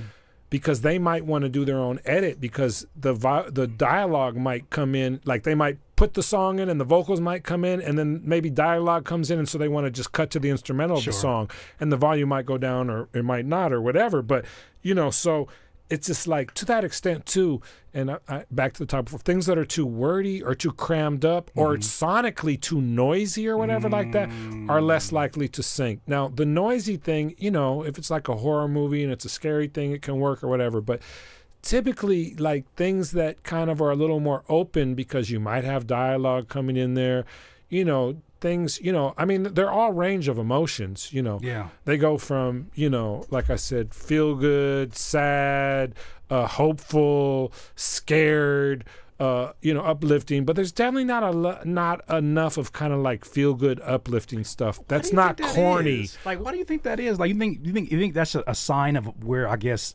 the the the the um Well, the brightness in the samples made that easier. Like when you're sampling great old classic records that are up, feel good, and everything like that. It's sure easy to make your record feel good. When people are making records from um, Looney, uh, um, Looney Tunes. Looney Um, Tunes. Okay, yeah, yeah. Are, or You these know, kind of programs, right, which- naturally major chords and all these different things going on there. Yeah. everything's gone kind of trapped for a while, so dark or whatever. So I mean, you know, Yeah. and, and, and you know, and I love the Weeknd, and but the pop artists with this kind of sensibility too have also kind of skewed the the sound very Mm. uh, uh, that way, and then the the other sound or things that aren't that maybe are kind of like pop up tempo things aren't really Yeah. is is, is not that Well- kind of warm feel good that that we're missing you know what i mean that's a more of like empowerment kind of like It just goes over the top. go to action you know well there's a there's Right. a, there's a place for those but i'm saying that kind of like that emo well i think the easiest way is because samples like what's missing kind of is emotional emotions and feel good and things like that. And Mm. the producers in back were cheating because they were taking all the live instrumentation off of jazz and soul records and getting all of that all of that you know what i mean? And now you don't you know it's a lot harder to write something that sounds as emotional as a John Coltrane or you know what I mean? Or whatever you're sampling you know what I mean? But I, I make the argument though because there's so many royalty-free samples that are Hmm. available now from people who are not obviously a John, No. not not obviously the- on the level of a Miles Davis or a John Coltrane, but these are folks who can at least get it you sonically should be able to, to freak a it level. and you should be able to freak it because you're the producer, you're the producer in a way right too But right right What I was alluding to is could that be a sign of I guess just the general morale or the the the the sort of like uh trend hopping that a lot of producers or artists are doing where they're just giving you what they're being fed on the radio, which is a lot of low frequency type of music, a lot of music that doesn't sound feel good. And if it's feel good, it's probably on a whole nother station. I wonder how much of that has to do with that. Cause I say the same thing um, when I listen to beats on Monday. We do this thing called Critique My Beats. I get artists or producers that send this stuff that's like, I understand writing from the perspective of being quote unquote suicidal, for instance. But I think there's a certain level of like, it becomes distasteful to where it's, it seems like you're just making this song because it's edgy, mm. as opposed to this is your true experience. And who's who's the judge? But I can start to hear some of the the wording, and I'm like, it feels like I've heard this song already, and it doesn't feel personalized to whatever your experience is because I don't even know who you are. Mm. Enter he, anybody's name, and it could be this. I wonder if that's sort of the the a smaller issue that is causing that lack of feel good music to be there because I I for myself I I fell in love with hip hop because of the feel good music. Yeah. I think it's a combination of all those things. You know, the you know the, the artists that are writing the music, looking at their future and and being scared, and you know what I mean, and things like that too. You know, and and and and the, and the music industry, and you know the kind of whole you know. But I I, I think that um, and also too like because this is an issue with sync, people that specialize in sync, you know, make a lot of this stuff, and it's sometimes like you want to just like throw the CD out the window. You know, what I mean, it's just so corny. You mean like so that's the thing, and I think it's also hard too to be like, like when you try to make something for something, ah, mm-hmm, it's always mm-hmm. cringe. You know, so like trying to make something feel good can be very difficult, especially if you're not in that space. Maybe you know what I mean or whatever. Mm-hmm. So, you know, there's there's like a fair amount of more like feel good R and B, kind of like up tempo R and B alternative Yeah. than there's hip hop or whatever too. But so much of this music is so like love lyric based that it also limits its.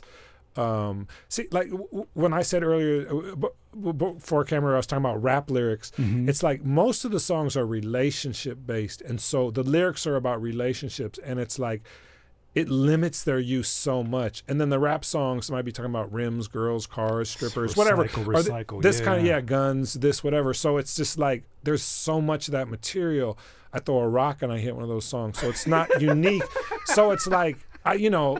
I got 50 of those, so I don't need no more of those, right? You know, I need I need something like acoustic guitar, or you're doing this, or or maybe EDM party, or just something different. Like you know, like I made this folder of like weird beats from producers I work with, Okay. and, and and and and it was when I was doing that show, The Hype, because they were really into like alternative hip hop and like EDM. Um, um, mixes and different kind of different kind of things you know what i mean Right. so i made this folder that had all these weird beats in it and i sent it to all these artists and everyone And there was a couple like normal trap beats on there and everyone made a song off the same trap beat and i was just like jesus like i gave you all this weird like you know Man, stuff and they like still give it to you. They they just gonna give it to you over a weirder beat. But and, and I imagine for somebody who's seen so many, like I said, you've seen so many eras of this hip hop culture, and and you've seen the period of time where you were like, yeah, this is these are the kind of artists that I could present to a label and they're willing to take that chance on it because obviously because of your ear and because of the um the artist just being something that feels fresh and new. It just seems like nowadays that that business model has changed dramatically, right? well, so where well- you don't even take a chance on some of these artists. As long as there's a Kendrick and a J. Cole that exists, they're like, we have enough already. Well, y- y- you know what? well, there was a there's a guy in the music industry named Mike Caren. You know, he was he was doing street promotion stuff for me when he was in high school. He was working for me, but you know, he's pretty powerful guy right now. But he's the guy that we have to blame to some extent. I say, I say, I say that jokingly, no di- no disrespect to Mike or whatever. Uh, but he started the Moneyball thing. Like he's the one that started analyzing stats What's the analytics? I remember he's that movie. guy, yeah. he's really the guy that started analyzing stats. So like you know, um, and started signing people off of that. Mm-hmm. And once the industry kind of like leaned into that, it was like talents out the window. You know, like who cares? But you know, I, there's Mm. also something I think I might have got it from one of your videos. I'm not sure, but it was talking about the crazy amount of artists that major labels have signed right now. And Oh yeah. The, the, so so eh, and we don't hear them. I kind of get emails about them because I'm a music supervisor, but I Right. ignore them. But they're telling me about all these new artists that the major labels have or whatever, you know.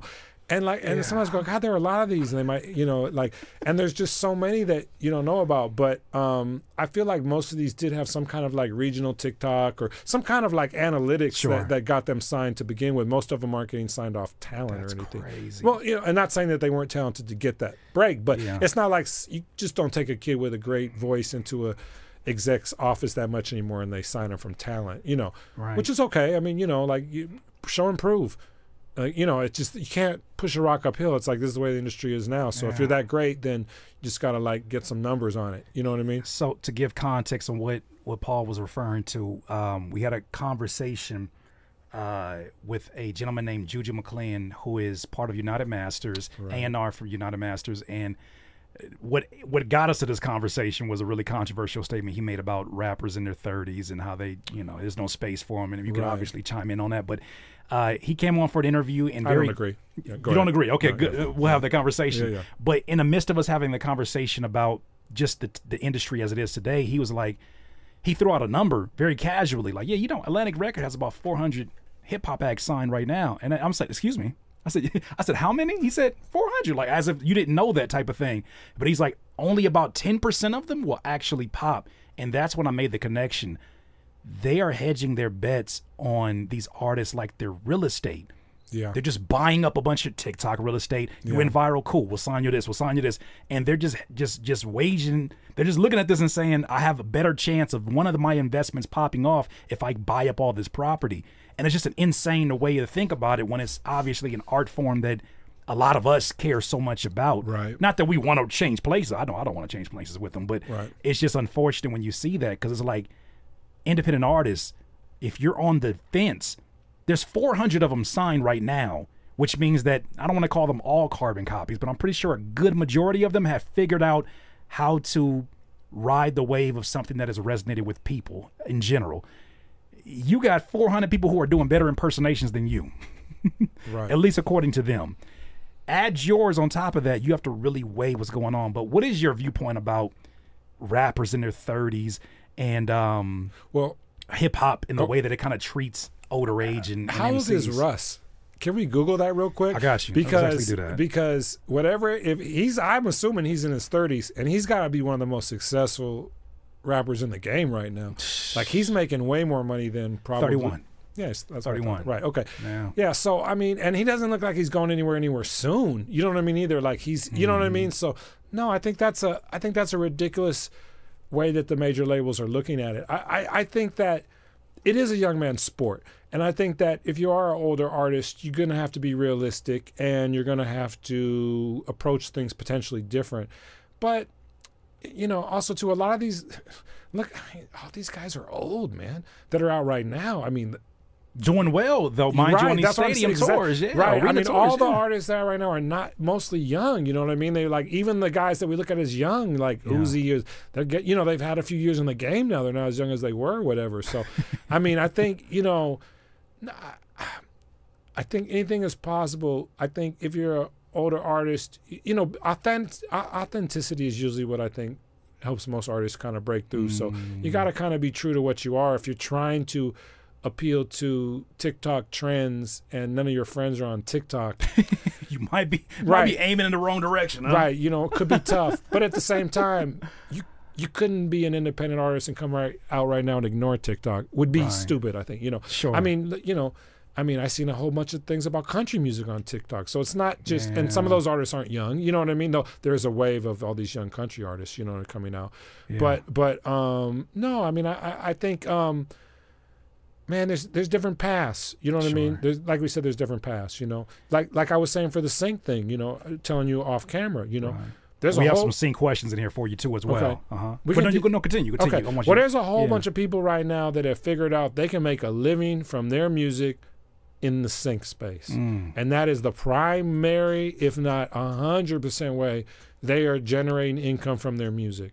Yeah. Especially a lot of producers have turned into this, um, and you know they might have other things that are, in, you know, like they put out the music that syncs, Mm-hmm. and then when it gets on a show, it gets a whole bunch more streams than normal. So their streaming income went up from you know Budweiser money to you know a, a Jose Cuervo money or whatever. you know what I mean? Like so, definitely. but their real money's coming in from probably the sync advance fees Mm-hmm. and uh, um, money generated from from sync in general. Yeah, th- there's a And, and huh? sorry, and then there's the other side Right.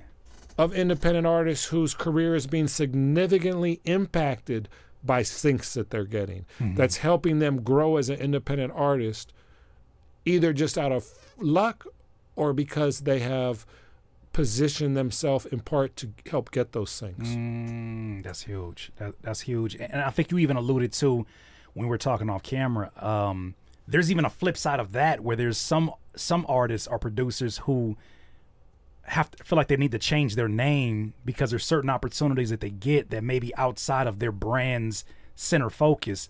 And so they feel like they need to kind of go go in that route as well. It's kind of like two reasons we use aliases, right? Yeah. Like there might be a group and it's it's they they can do something that's a little different than what they're doing currently artistically Mm-hmm. that could be very syncable, but it doesn't maybe really fit in with the aesthetic that they're on. So they don't they don't want it to show up on their Spotify. You know, they don't want it to mix in with their program, you know.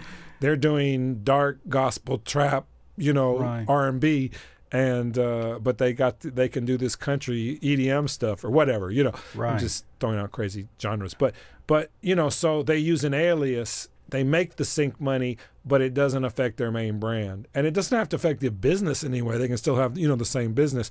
Also, many producers that I work with have tons of aliases for their projects, where maybe it's like, um, you know, maybe it's a pro- producer driven project and there's not really an artist on it so they give it different names yeah. so it so their projects so it doesn't seem like they got 500 things by this one group they got 100 by this and another and, and helps divide it up like oh explorers is my indie rock group you know um, beyond is my edm group you know um, mm, you know Yeah. um, yeah Definitely, definitely. We got a few questions here that are starting Let's to pile roll. in. Uh, one is from Miss Lyrical Penny. She says, "What would be the typical format for sync?"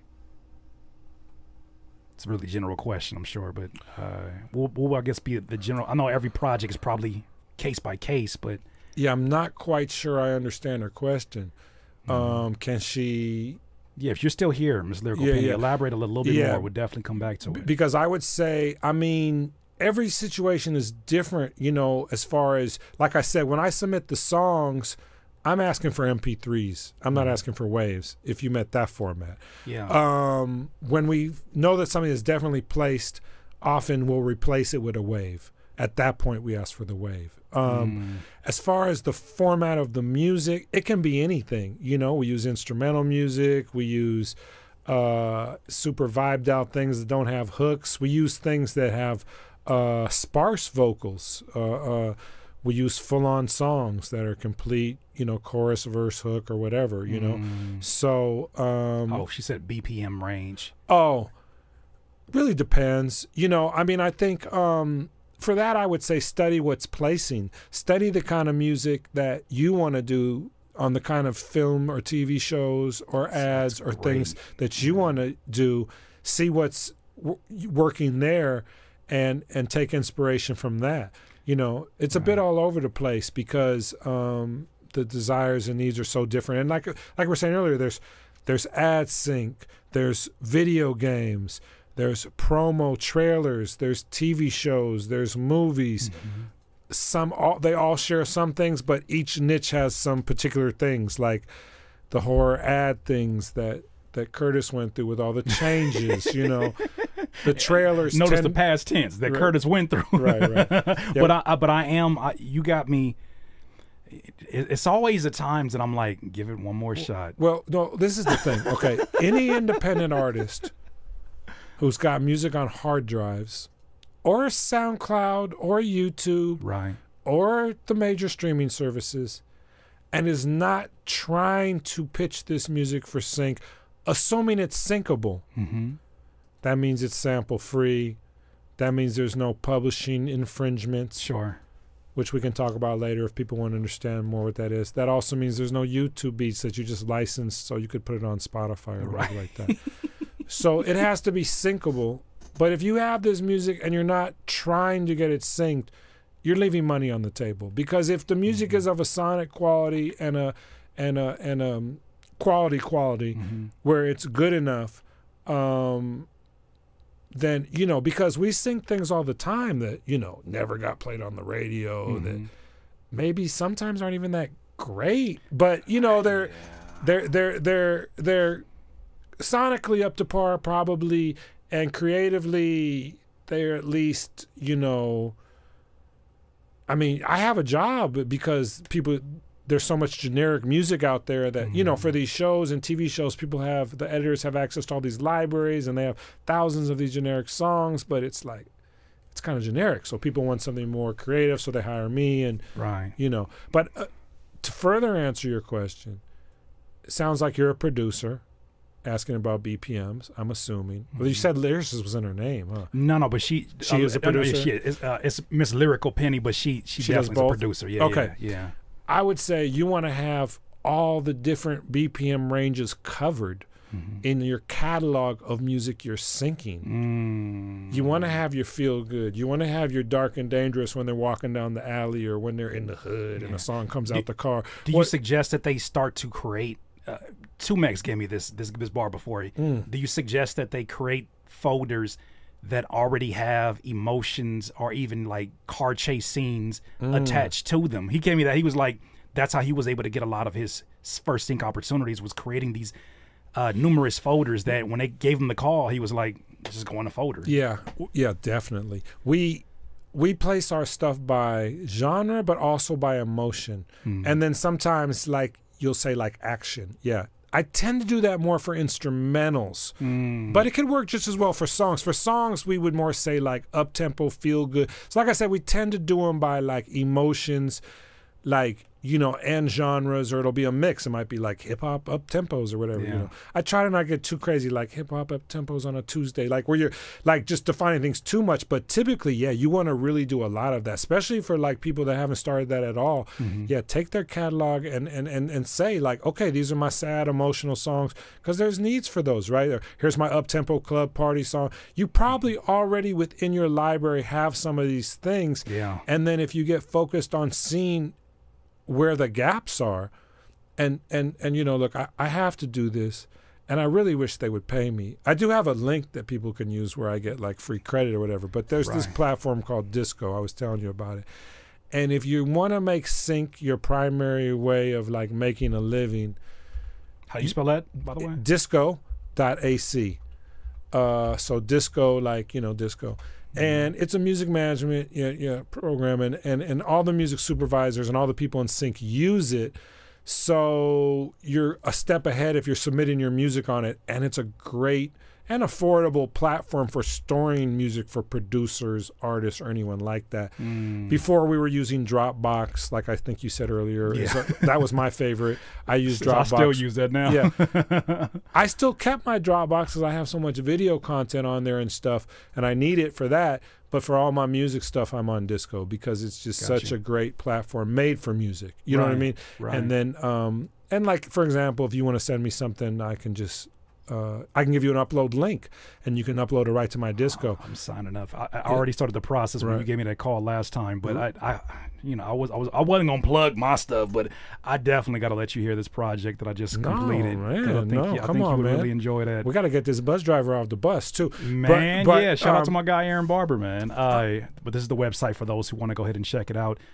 Uh, I'm sorry. Go, continue. you know. No, I mean it's just it's a great it's a great I, I don't have any affiliation to it. You know what I mean? I am on a music supervisor program, so I have a cheap uh, thing or whatever, and I do have a link. Like I said, if you want to like refer for me, which gives me more free time or something like that. But but no big deal. But but it's just such a good program that I, I have to recommend it. Like if you're like not too serious about sync, you know, you don't, you know, but if you're really serious about it, I think it's like 15 bucks a month or something for like a thousand songs. Yeah. It's gonna it's gonna be worth it. No, Uh, you, um, you, you messed me up with that. You know, you may just all that music on your hard drive. You might be just sitting on money. When you said that, I was Oh, like, that's one of man. them moments. It's one of those moments I'm here and I'm like, oh god, you.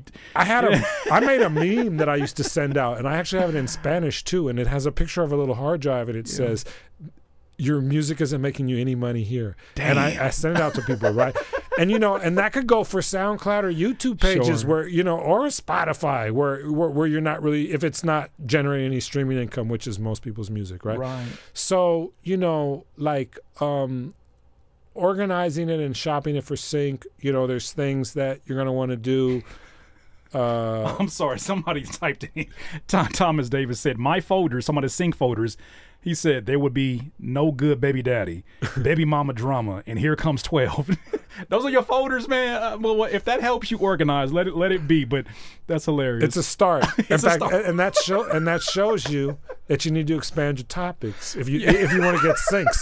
Now, like I, I got said, I got all this baby mama drama Right, inside right. my catalog. If you need that, and also check out check your life, bro. No, no, Check- just, yeah. no I, I'm, I'm, I'm, I'm, I'm a fine one to talk, but um, no, I mean um, the more diverse of material you have, Mm-hmm. the more different kind of syncs you can be appropriate for, and the more you'll get. So having a bigger catalog and like your man 2Mex said, having it separated so when people ask for it, you can easily send it and you're not digging for it. And you know, having that instrumental. I've, lo- I've lost. I've lost. That's why you got to get them in that in the cloud on disco and off those hard drives because you people hard drives break and you lose the instrumental to this or you don't have it. And, oh, I never exported, I never mixed that out of that session, and then you know whatever. And like, oh man, believe me, I I, I use people's old music all the time, and I'm like, oh, and they ask for the instrumental, like I don't have it, and like so I've heard that so many times, you know. So yeah, if one thing I could tell people interested in sync now is is export an instrumental that's a good mix Okay. have it together, name it instead of whatever beat name it had before, the name of the song, but instrumental version. The labeling.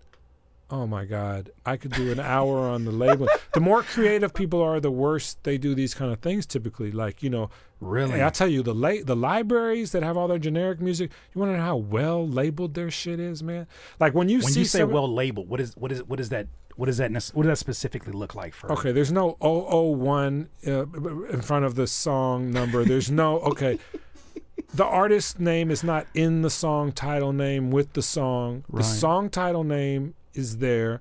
The artist name is there. Mm-hmm. In the metadata, I want the publishing and writing splits, and I definitely need your contact information. You sure don't want to be sending MP3s out without your contact information. That's Yeah. a big no-brainer. So, and and and this, these are the things that'll help people make feel like maybe you understand syncing. Maybe they can take a chance on working with you if you have all of your contact publishing, writer splits, master splits, and contact information in the notes section. You know what I mean? Like these are the things when I send out music, when I'm on the catalog side, like, you know, all of that stuff is is already done. And if you see mm. it's done, then people trust.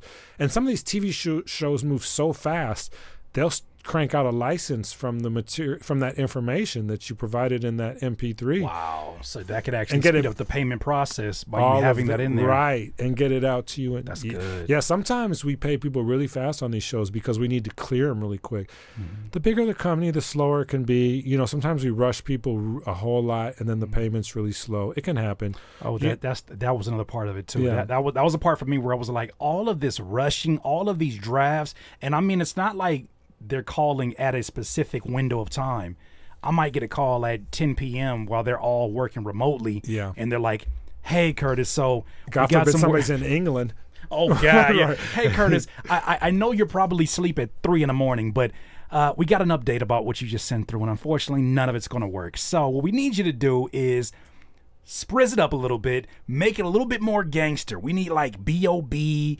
and you know it meets. These are real things that people. I, I've shared this story a million times, but folks who don't know what they actually want because they can't translate it as it sounds in their head, not even know what it sounds like in their head. You said Led Zeppelin and drill, and I'm just like, somebody right now has sent that out as as A the- brief, as yeah. a brief, yeah, for sure. So here's another question from Ben Benson. He said it, it might be a dumb. No, you know dumb questions, man. You had to ask it. Uh, he says might be a dumb question, but would there be publishing infringe, infringement if you self-publish the track? No. When what I was talking about publishing infringement is when um, you take uh, that that Fugees hook and you change the words, but you sing it in the uh, in the uh, in the same vocal melody as the hook, so we all know you're talking about. We all recognize it's that Fuji song, mm-hmm. you know. Or when you replay something, but you don't actually sample the record. Mm-hmm. These are all publishing infringements. No, mm. no. Self-publishing is ideal. I mean, that's if you're independent trying to get syncs, you have to be self-publisher, or you have to be with someone who is shopping your syncs because if we have to go through a publishing company, then we're not dealing with you because there's there's two levels. There's the I have to deal with all the publishing companies, and there's Yeah. the independent people that we're dealing with because it's like what we call a one stop. Mm-hmm. Hopefully, maybe your homeboy produced it and you guys are all friends. You're gonna work it out, but you know what I mean. But it's kind of a one stop situation, Mm-hmm. and everything is self published and independent, fully independent, 100% independent and original. So is there? And this is my particular question: Yeah. Is there any conflict of interest when a producer is making a beat and they include, for instance, splice sounds? uh, sounds from splice.com, which, you know, on the contract it says royalty free. Uh, I've had sync opportunities that had like uh, a vocal that was royalty free in it. Have you ever have you seen those cause any issues as of late? I have. Really? Some of the really corporate companies have have, have um, told us not to use records with splice in them. wow. Yeah.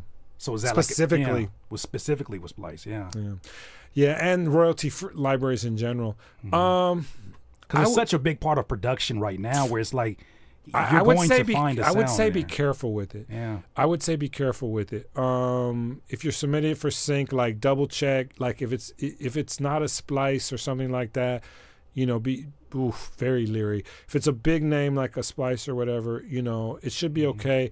But if it's just too, if the whole song is like too hinged on it, then then Mm. so that, what, what about like small additions? Like for instance, like I'll use uh, a short saxophone riff and echo it out for like the end of a bar.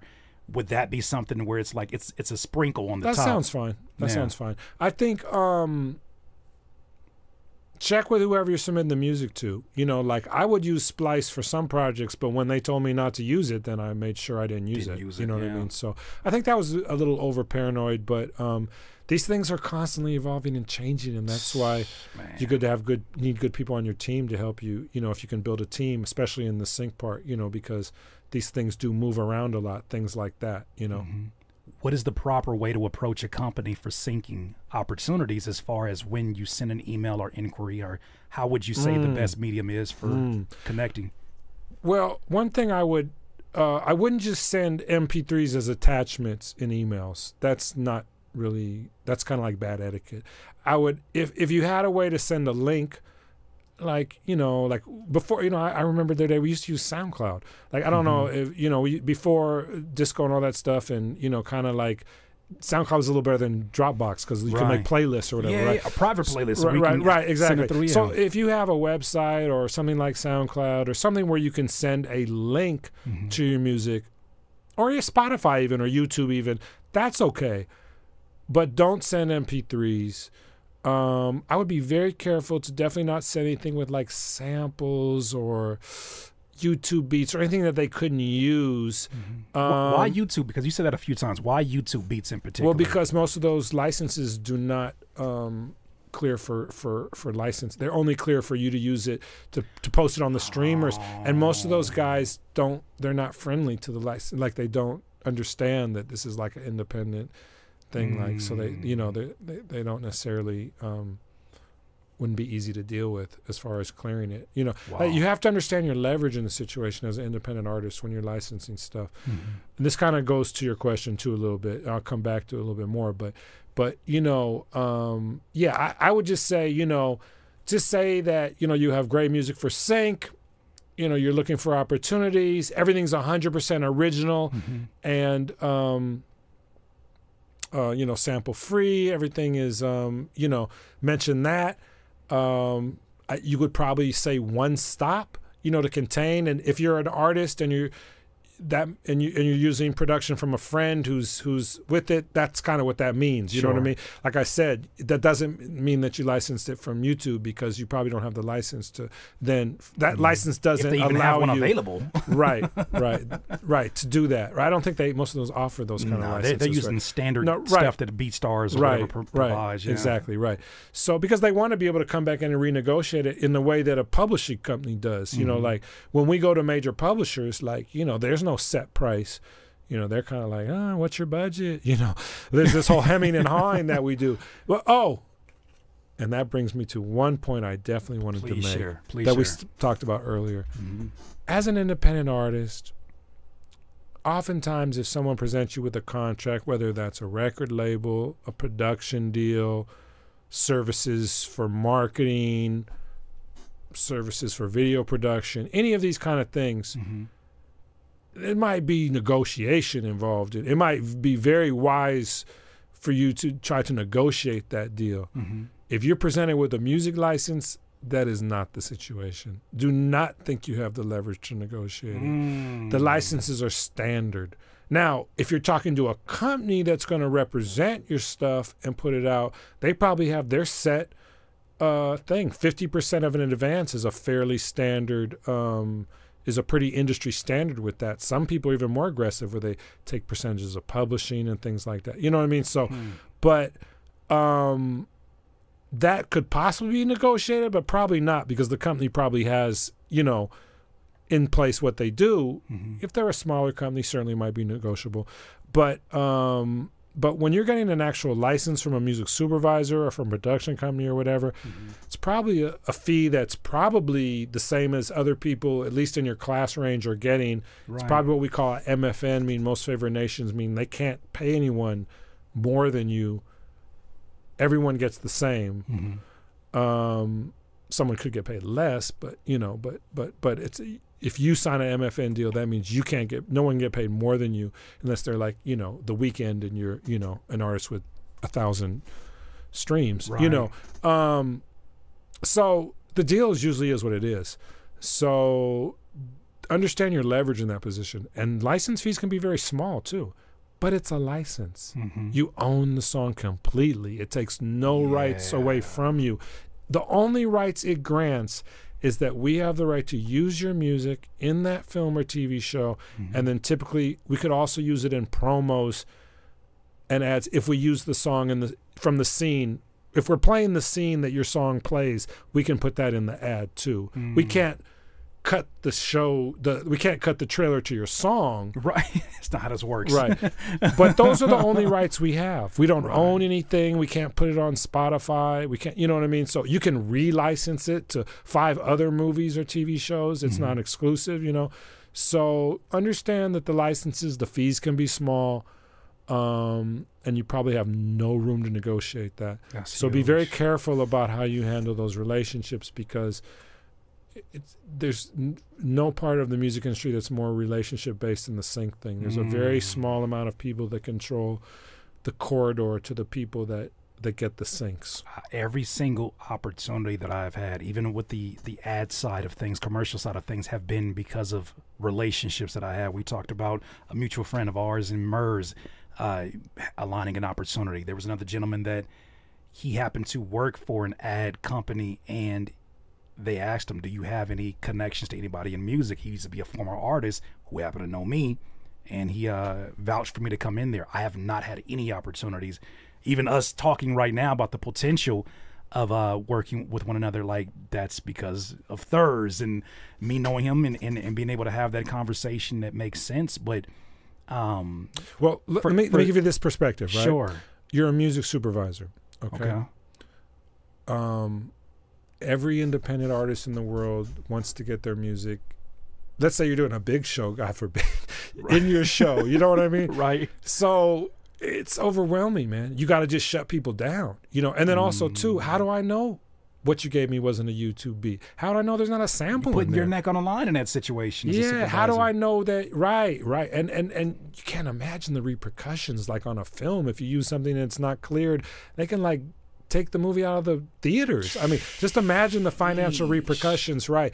That could be, you know, so the that's why you know we talk about the administrative part. So that's the most important. The creative part, sadly, for the people that are hiring you, is secondary. You know, Yeah. so, you know, th- there's that that whole thing. So gaining people's trust, they have to come in through relationships and things like that. Typically, you're not even going to get through the door, right? Right. That's why like disco is a great thing too, because if you send out music on disco, and music supervisors see that.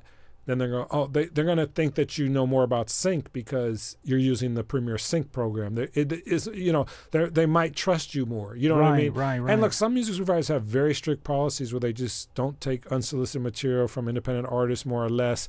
But They more, they they, they line that up specifically.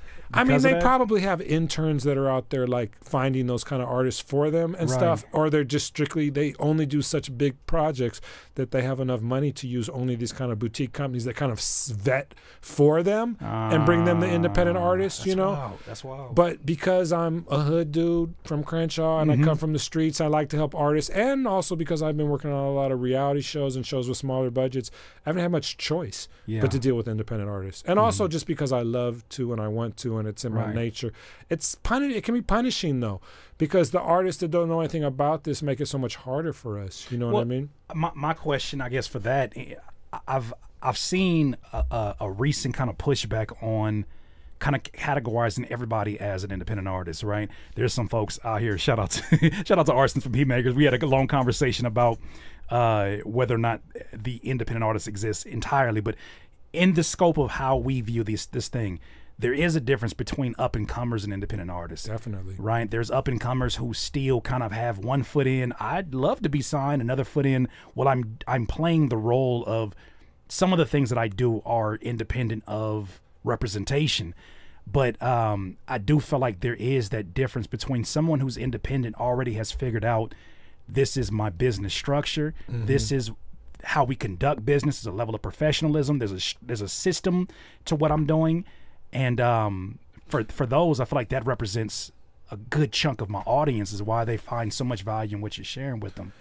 Yeah, those artists are a pleasure to deal with. You know, they're few and far between, though. I mean, Sure. like, you know, m- uh, most of the independent artists that are like really looking at their their artistry as a business mm-hmm. have typically found like sync companies to rep their music often and stuff like that mm. because it's such an important like factor. Like I'm saying, if you're an independent artist or label or producer or manager or anything, you know, like the indie labels right now, they're surviving off of like sync income into a lot. Some of them, a lot of them are, you know. And like I said, there's a whole lane of independent artists that are just like making a living from their craft via sync. And that's really That's the thing. Yeah, yeah. yeah, yeah. Um, so and and for those two, th- both of those artists, sync is important, but like I said, it's different. You know what I mean? Like you know, for people that are really already focused on being an independent artist and have put a lot into it and are starting to have like a little more success or things like that, totally focusing on sync might take them away from their goal. Um, but having a sync strategy is going to be imperative to their success, and also probably trying to.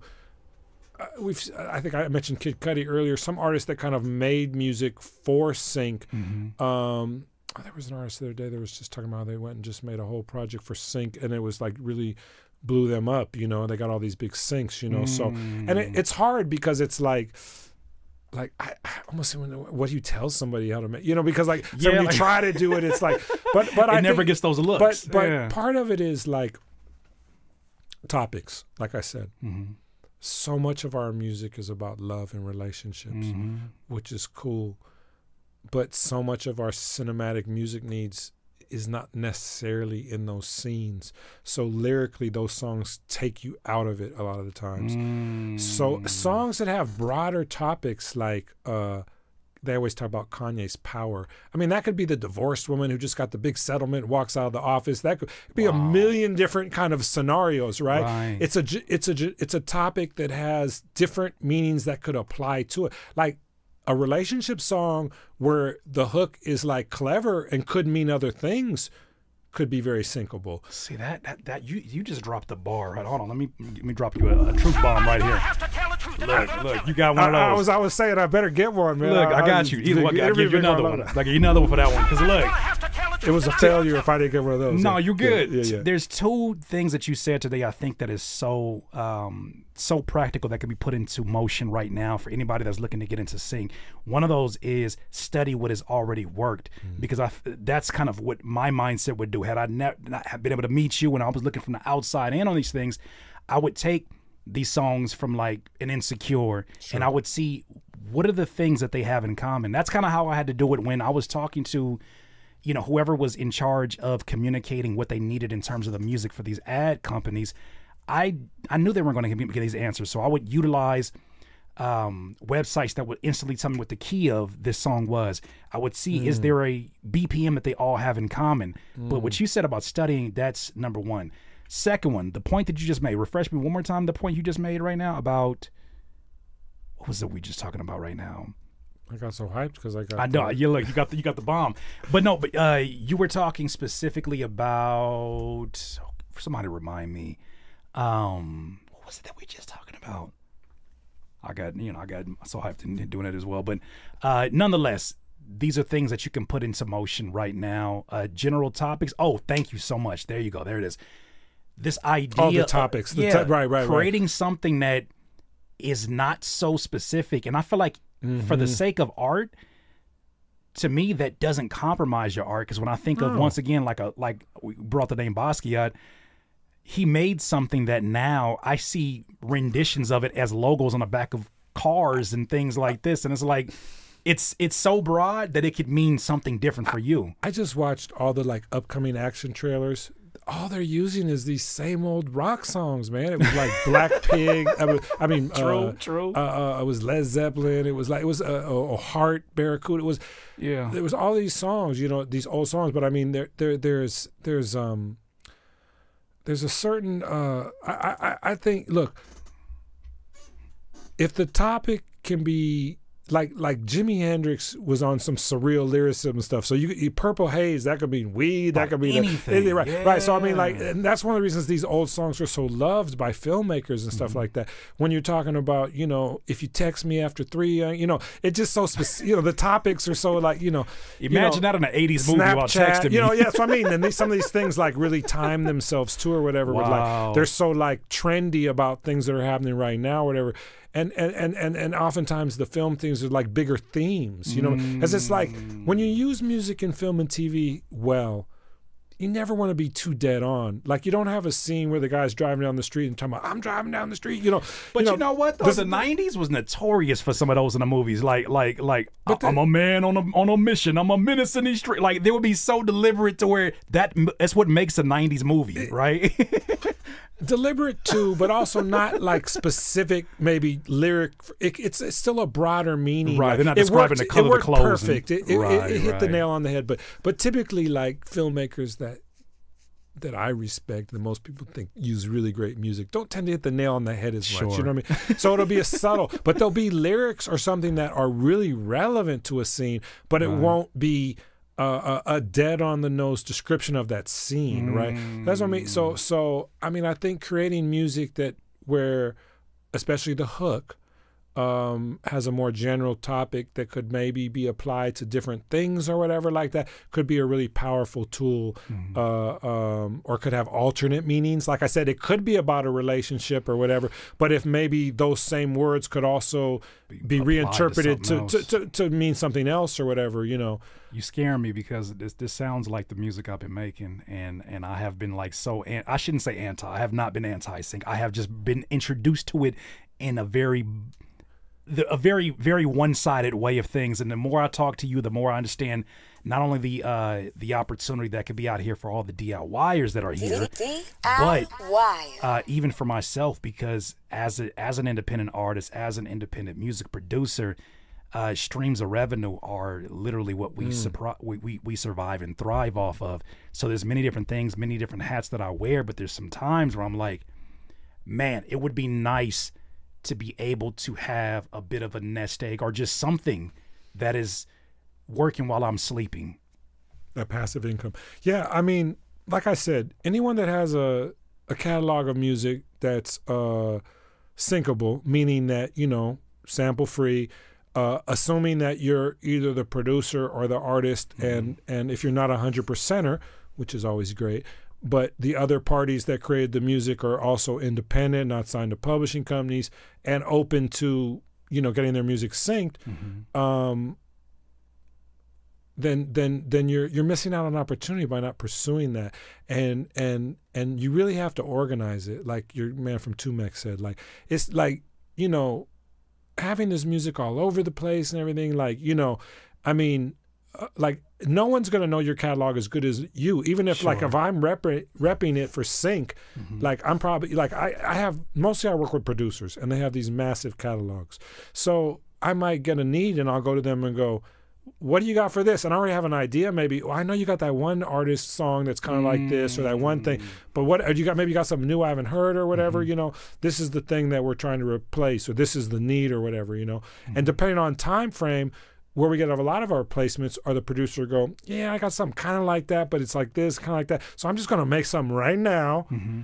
That's dead on what you're asking for, mm. and then often we get it placed. You know, it's like tailor made for the thing or whatever. And when those things don't place, which happens, often that same song gets placed later because it's the kind of thing that's going to need anyway. And you're building up your catalog. So Got it, got if you're it. making, and it's something that you didn't have before, right? Because Mm-hmm. if you had that identically that before, we would have just submitted what you had before. Mm-hmm. Um, clean versions. Clean versions. Yeesh. Like, okay, if if you're serious about sync, you got the original version of swear, assuming they're swearing in it. You got a clean version, and you got an instrumental, all readily available, well labeled, and ready to be sent out on a dime. yeah. Because when I need it, I might need it fast. Yeah. And, and you, you might send me something tomorrow, but John sent me something that today, and it was yours might be better, but his came first. Ugh. And sometimes what came first might win. Because once we already You know, I gotta get. I got. I got. Look, at you going, going for four. I'm gonna take as many the I trifecta is Yeah, done. yeah, done. It's done. Here No, no, um, I mean, once we get someplace, we usually don't go back and go, oh, but I got this other thing that's better. You know, It's too late. I mean, I might for my homie if I'm trying. You know what I mean? Yeah, but, yeah. but you- it's like we're moving on. We got we got more shit to do. You know, when I'm when working on these TV shows, there's so many placements, so many songs. It's just like Mm-hmm. sometimes so excited. Oh, my, I've been trying to get my homie placement for so long. Then they cut it. I'm like, ah, fuck. Yeah, But it is what it is. You know what I mean? Like- and, and it should be. I feel like what you're really what you're asking for is not a lot. You're asking for if this is the profession you want to get into, approach it as a professional. Literally, just you're organizing it because these are things that are you're going to and, and, and some folks you cannot fault them for never experiencing it and never being told the information, but you're being told the information, Right. the structure. Even Paul shared with you the uh the titling scenario because I've seen Very people important. who've tried to game the system and oh, I'm going to call it this crazy thing and hope that it you know it stands out amongst everything else that's here and not that it can't work but they're not they're not thinking about the things that they've, they've actually been asked of them Well, one thing that people do, especially with instrumental tracks, is they'll name the track like "Dark Tension" or maybe not quite that, but Yeah, they'll yeah. they'll name the tension. They'll name it something to describe what it is, which can be good Mm-hmm. in our in our space, can be helpful, you know.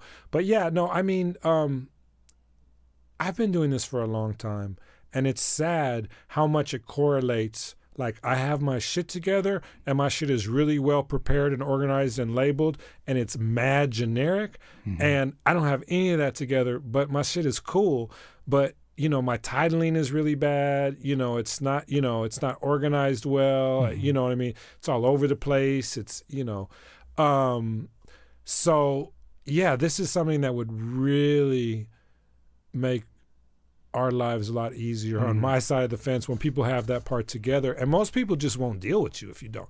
So you know what I mean? Like I said, I'm a unique uh, uh, creature. Uh, uh, Right. for punishment, you know, and uh, and also because I do other things, you know, maybe I say, okay, look, we'll we'll help you represent your music, so we're going to show you how to do it, and Right. and we're going to do it for you to some extent. Just give us the music, and we'll you know we'll help handle that for you.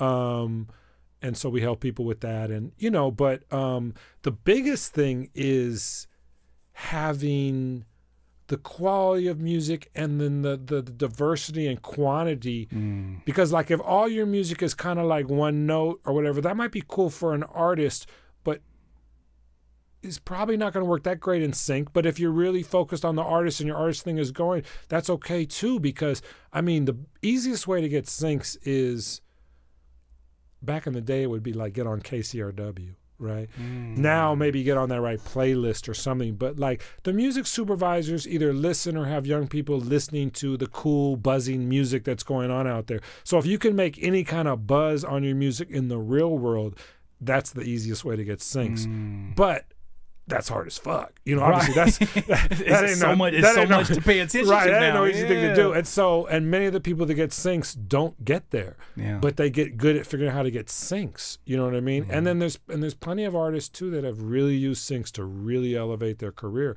So, like I said, independent artists. Up and coming bedroom artists, it doesn't really matter which space you're in. Mm-hmm. Uh, sync can be a, a a way for you to earn some money from your music. If if if, you, if you're looking at it any way outside of a hobbyist, and obviously you're on this channel, so you are. You know what I mean? So if you're not just doing it just for the hell of it, you know what I mean? Then you know if you have any kind of like game plan to make money, mm-hmm, mm-hmm. sync is just too big of a space to ignore. Um, I mean, and there's a lot of subpar artists that are doing pretty well in it because they figured out all of this other stuff That's very the part well. That blows my mind is that when I see some people like I'll get I'll get Instagram will randomly suggest someone who just got, you know, and not hating on them or nothing like No, that, yeah, but it's like I listen to it and I'm like, what was that brief? Because it's like all about three or four instruments in this whole beat, and it's just like the mixing, like every, everything top to bottom just sounds like Well, look, okay. First That's of all, well, hold on. Well, hold on. First of all, we're hip hop guys. Yeah. And so when we're talking about hip hop too, you know, you got to understand the music supervisor was probably, you know, Leslie um, Nuremberg. I, I, I, I'm not. That's No, I get what you're saying. I get what you're and saying. I'm not Right, trying right. to get racial or nothing. Right, You're obviously white. You know, I, I, I got. But some, we we get the reference Right, because. I, I, I you know I we, we it's a lot across of people those. that are out of touch with Yeah. with with hip hop music that are making these judgments. So you hear this crazy stuff, you know what I mean? Sometimes in there, and they might. Boy, they might know the hell about some Smiths or some, you know, whatever, some white people stuff. You know what I mean? But then Yeah. when it comes to hip hop, they don't they don't understand it. it some the, the unmixed thing that somebody did sounds as good to them as Drake. They don't they don't know. You know what I mean? Or or or or or, or or Jay Z or Cole or anybody. You know what I'm saying? do, or do they ever get penalized for making these decisions like that? Like, how do you know? How do you gauge a successful uh, uh, uh, sync decision from? Like, how would they? How would someone gauge that? I mean, I look, I, I, I can It's a tough question to ask, but I remember I worked on this BET show, and um, it was called Cop Watch, and it, it came out right before the Black Lives Matter. Man, the timing was bad. They were like watching cops, you know. Yeah, yeah. It was people that watch cops for you know, and um, the the production company uh, who I really enjoyed working for, would love to work for again. Uh, Critical Content was a very white, very big reality TV company, and when they booked this gig, it was through BET, and they're like, "Oh, we better, we got to get a little cooler for our music than this." And so they hired me, and I was giving the editors all this music, but they were cutting with the same library reality music that they were used to using. Mm. And the network fired their asses up. But they were like, this is some white shit, this EDM shit. We ain't fucking with this. Like, you know.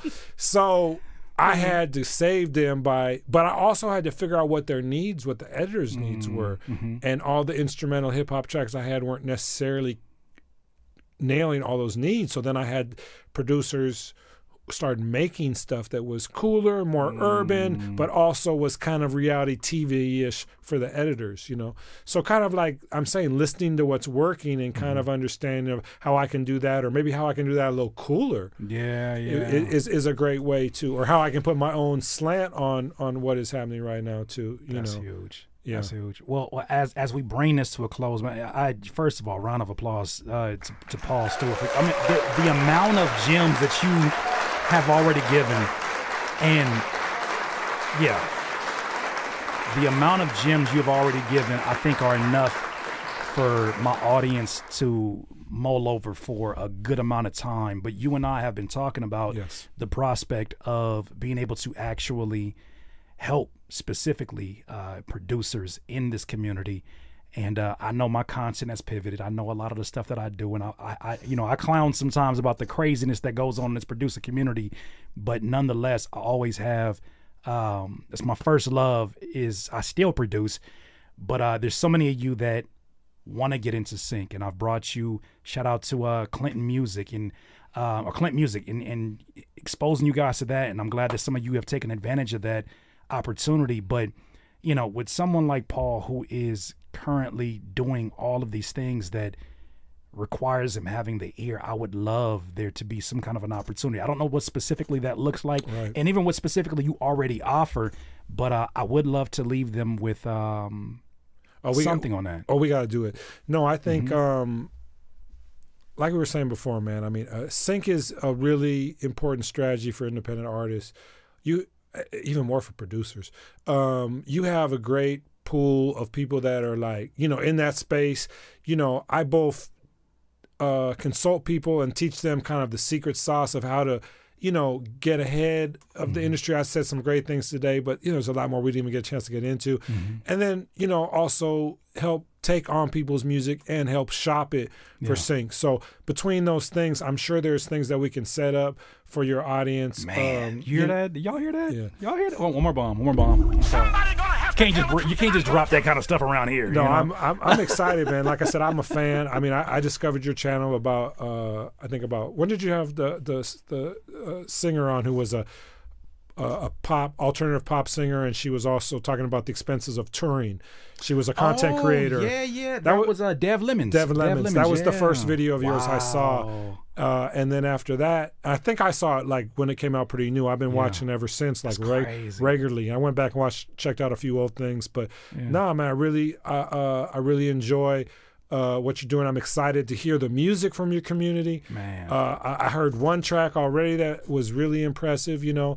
And uh, I think we can do some great things um, together. I'm excited for it, man. This is the first of many. First of many. come. Yeah, yeah, yeah. So, so DIYers, thank you. Now is now that you're performing a legitimately awesome service, Curtiss King. I, I am grateful just to be a vessel. I'm grateful that um, legendary individuals like Paul Stewart are reaching out and saying, "Hey, no, there's an opportunity not just." um, for myself, but I feel like there's an opportunity that your community could benefit off of.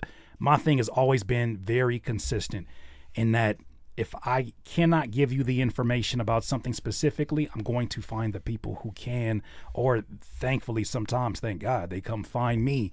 And in that position, we're able to align with each other and present these opportunities to you. So all I'll say is this DIYers, DIYers, um, shout out to all of you that have hung out. Um, someone said the other day, "Oh, yeah, 300 people in here today, but you know, it, it's it's you know less than 100 today." But I'm like, you can't look at it like that. This is specifically. Shout out to my guy Stevie Crooks, an, an amazing artist. He he says, um, "This song that I'm making right now is a custom experience. It's not intended for everybody." He said, "This is meant to activate a certain person. You know who you are." That's how I felt about this type of content. If this if everybody was doing it, it would make it very challenging for those of you that truly have a passion for this to find and make your way. So I'm grateful that you're here, especially on a Saturday on, on short notice. Uh, but stay tuned because I, I know that this is not the last time you and I will be having this conversation. Not and all. uh, I love the fact that you have, have gone to bat for independent artists in these projects. And there's so many artists that, even when I, I keep referring to Insecure, but what I love specifically about that one was that there was so much music. And like I say, it's a collaborative effort with you and Issa Rae. And shout out to Issa Rae. Um, but having these artists that are like, damn, I thought I was the only one that had this on my playlist, or I thought I was the. It was like a really original thing, and, ex, and and having that go all over the world, and this be you know something that people have on you know uh, Netflix or DVDs or wherever they're kind of re rewatching and stuff. It's just an amazing thing. You've given me a whole nother perspective on sync today and the last conversation we had. Oh yeah. Because man, I'm telling you, the Oh, you're amount of- sleeping on it. No, we. I know I I mean, am. no, you you you came. I in, am. I've been snoring on it because of how pissed off they had no, me. you you came in the game in the most. There, there's different segments, and the segment you came in is probably not one you want to participate in. Mm. You know what I mean? Because it's it's too much of that back and forth, and these people that don't know what they're talking about, and it's very frustrating. But Mm-hmm. You know, the, the other segments are. That's the only one that's really like that. That's the only one that's controlled by the ad agencies and and and these people. You know what I mean? And then the clients or the brands and everything, and you know. People that are just really far removed from music, but no, we're gonna get your catalog up and cracking. let's let's get let's get your audience, you know, cracking. And uh, I need more better music, man. And and, and I'm excited to hear the stuff you. that that your people are working on. You know, Hold on, and do, uh, do I have that clip? Hold on, hold on. Where, where's it at?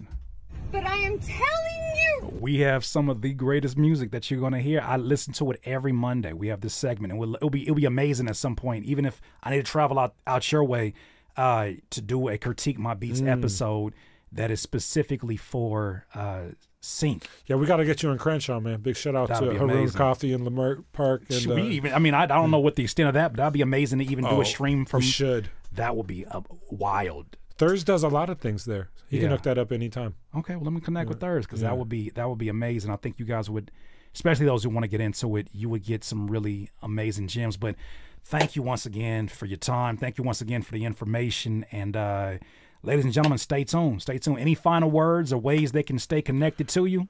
Uh, yeah, well, salute to you and your audience. Uh, Instagram, I'm not on Twitter or X, so, uh, but Paul underscore DJP underscore Stewart, uh, S T E W A R T on Instagram. I do check my messages there. Uh, that's really my only social media app. I mean, I got Facebook, but oof, you leave me a message there, man. I write you back three years later, like, ah, I'm so sorry, I didn't, I didn't know. same. But uh, yeah, but no, man, I definitely, um, yeah, you know, reach out, uh, and I'm excited about, you know, stay tuned to the things that we're going to work on together because sir. we got some big things coming together. It's it's going to be great. I, I had this plan before I even met him, so now he's coming on I, board. look, and I gotta say this just just about your your your demeanor, your just who you are. Like everybody that I know don't mess with nobody that's about no nonsense. You've been like, yeah, that's, that's, my friend. They they they vouch for, for you, and I'm like, not that that's that's a necessity because your name is your name, but I think even the way that you approach me, for the first time, somebody in this space did not approach me, and it felt like you treat me like a funnel right now. I love the fact that you were like, these are the facts, these are what's going on, but also here's where I think that you might have viewed this from a different lens. I, I appreciate you for that because, and this is something I wasn't planning. I genuinely appreciate that because, um, if they, which I'm sure there is money left there, there's an abundance of music that, uh, you know, I, I'm not excited about pushing it to streaming. I am excited about getting it actually sold, but uh, what you're saying makes so much sense, and I think it is time for me to really uh, uh, make that pivot and, and, and, and get into that. But that's not happening unless you're the person that you are. So I, I appreciate the human being so much more today. So Oh, thank, you. thank you, man. It was all my pleasure, man. Shout out to the community. Absolutely. Well, ladies and gentlemen, this will stay up here live. I have all the information that you need down there in the description. Thank y'all so much. Make sure that you share it if you found some information very, very valuable. I will see you very soon, DIYers.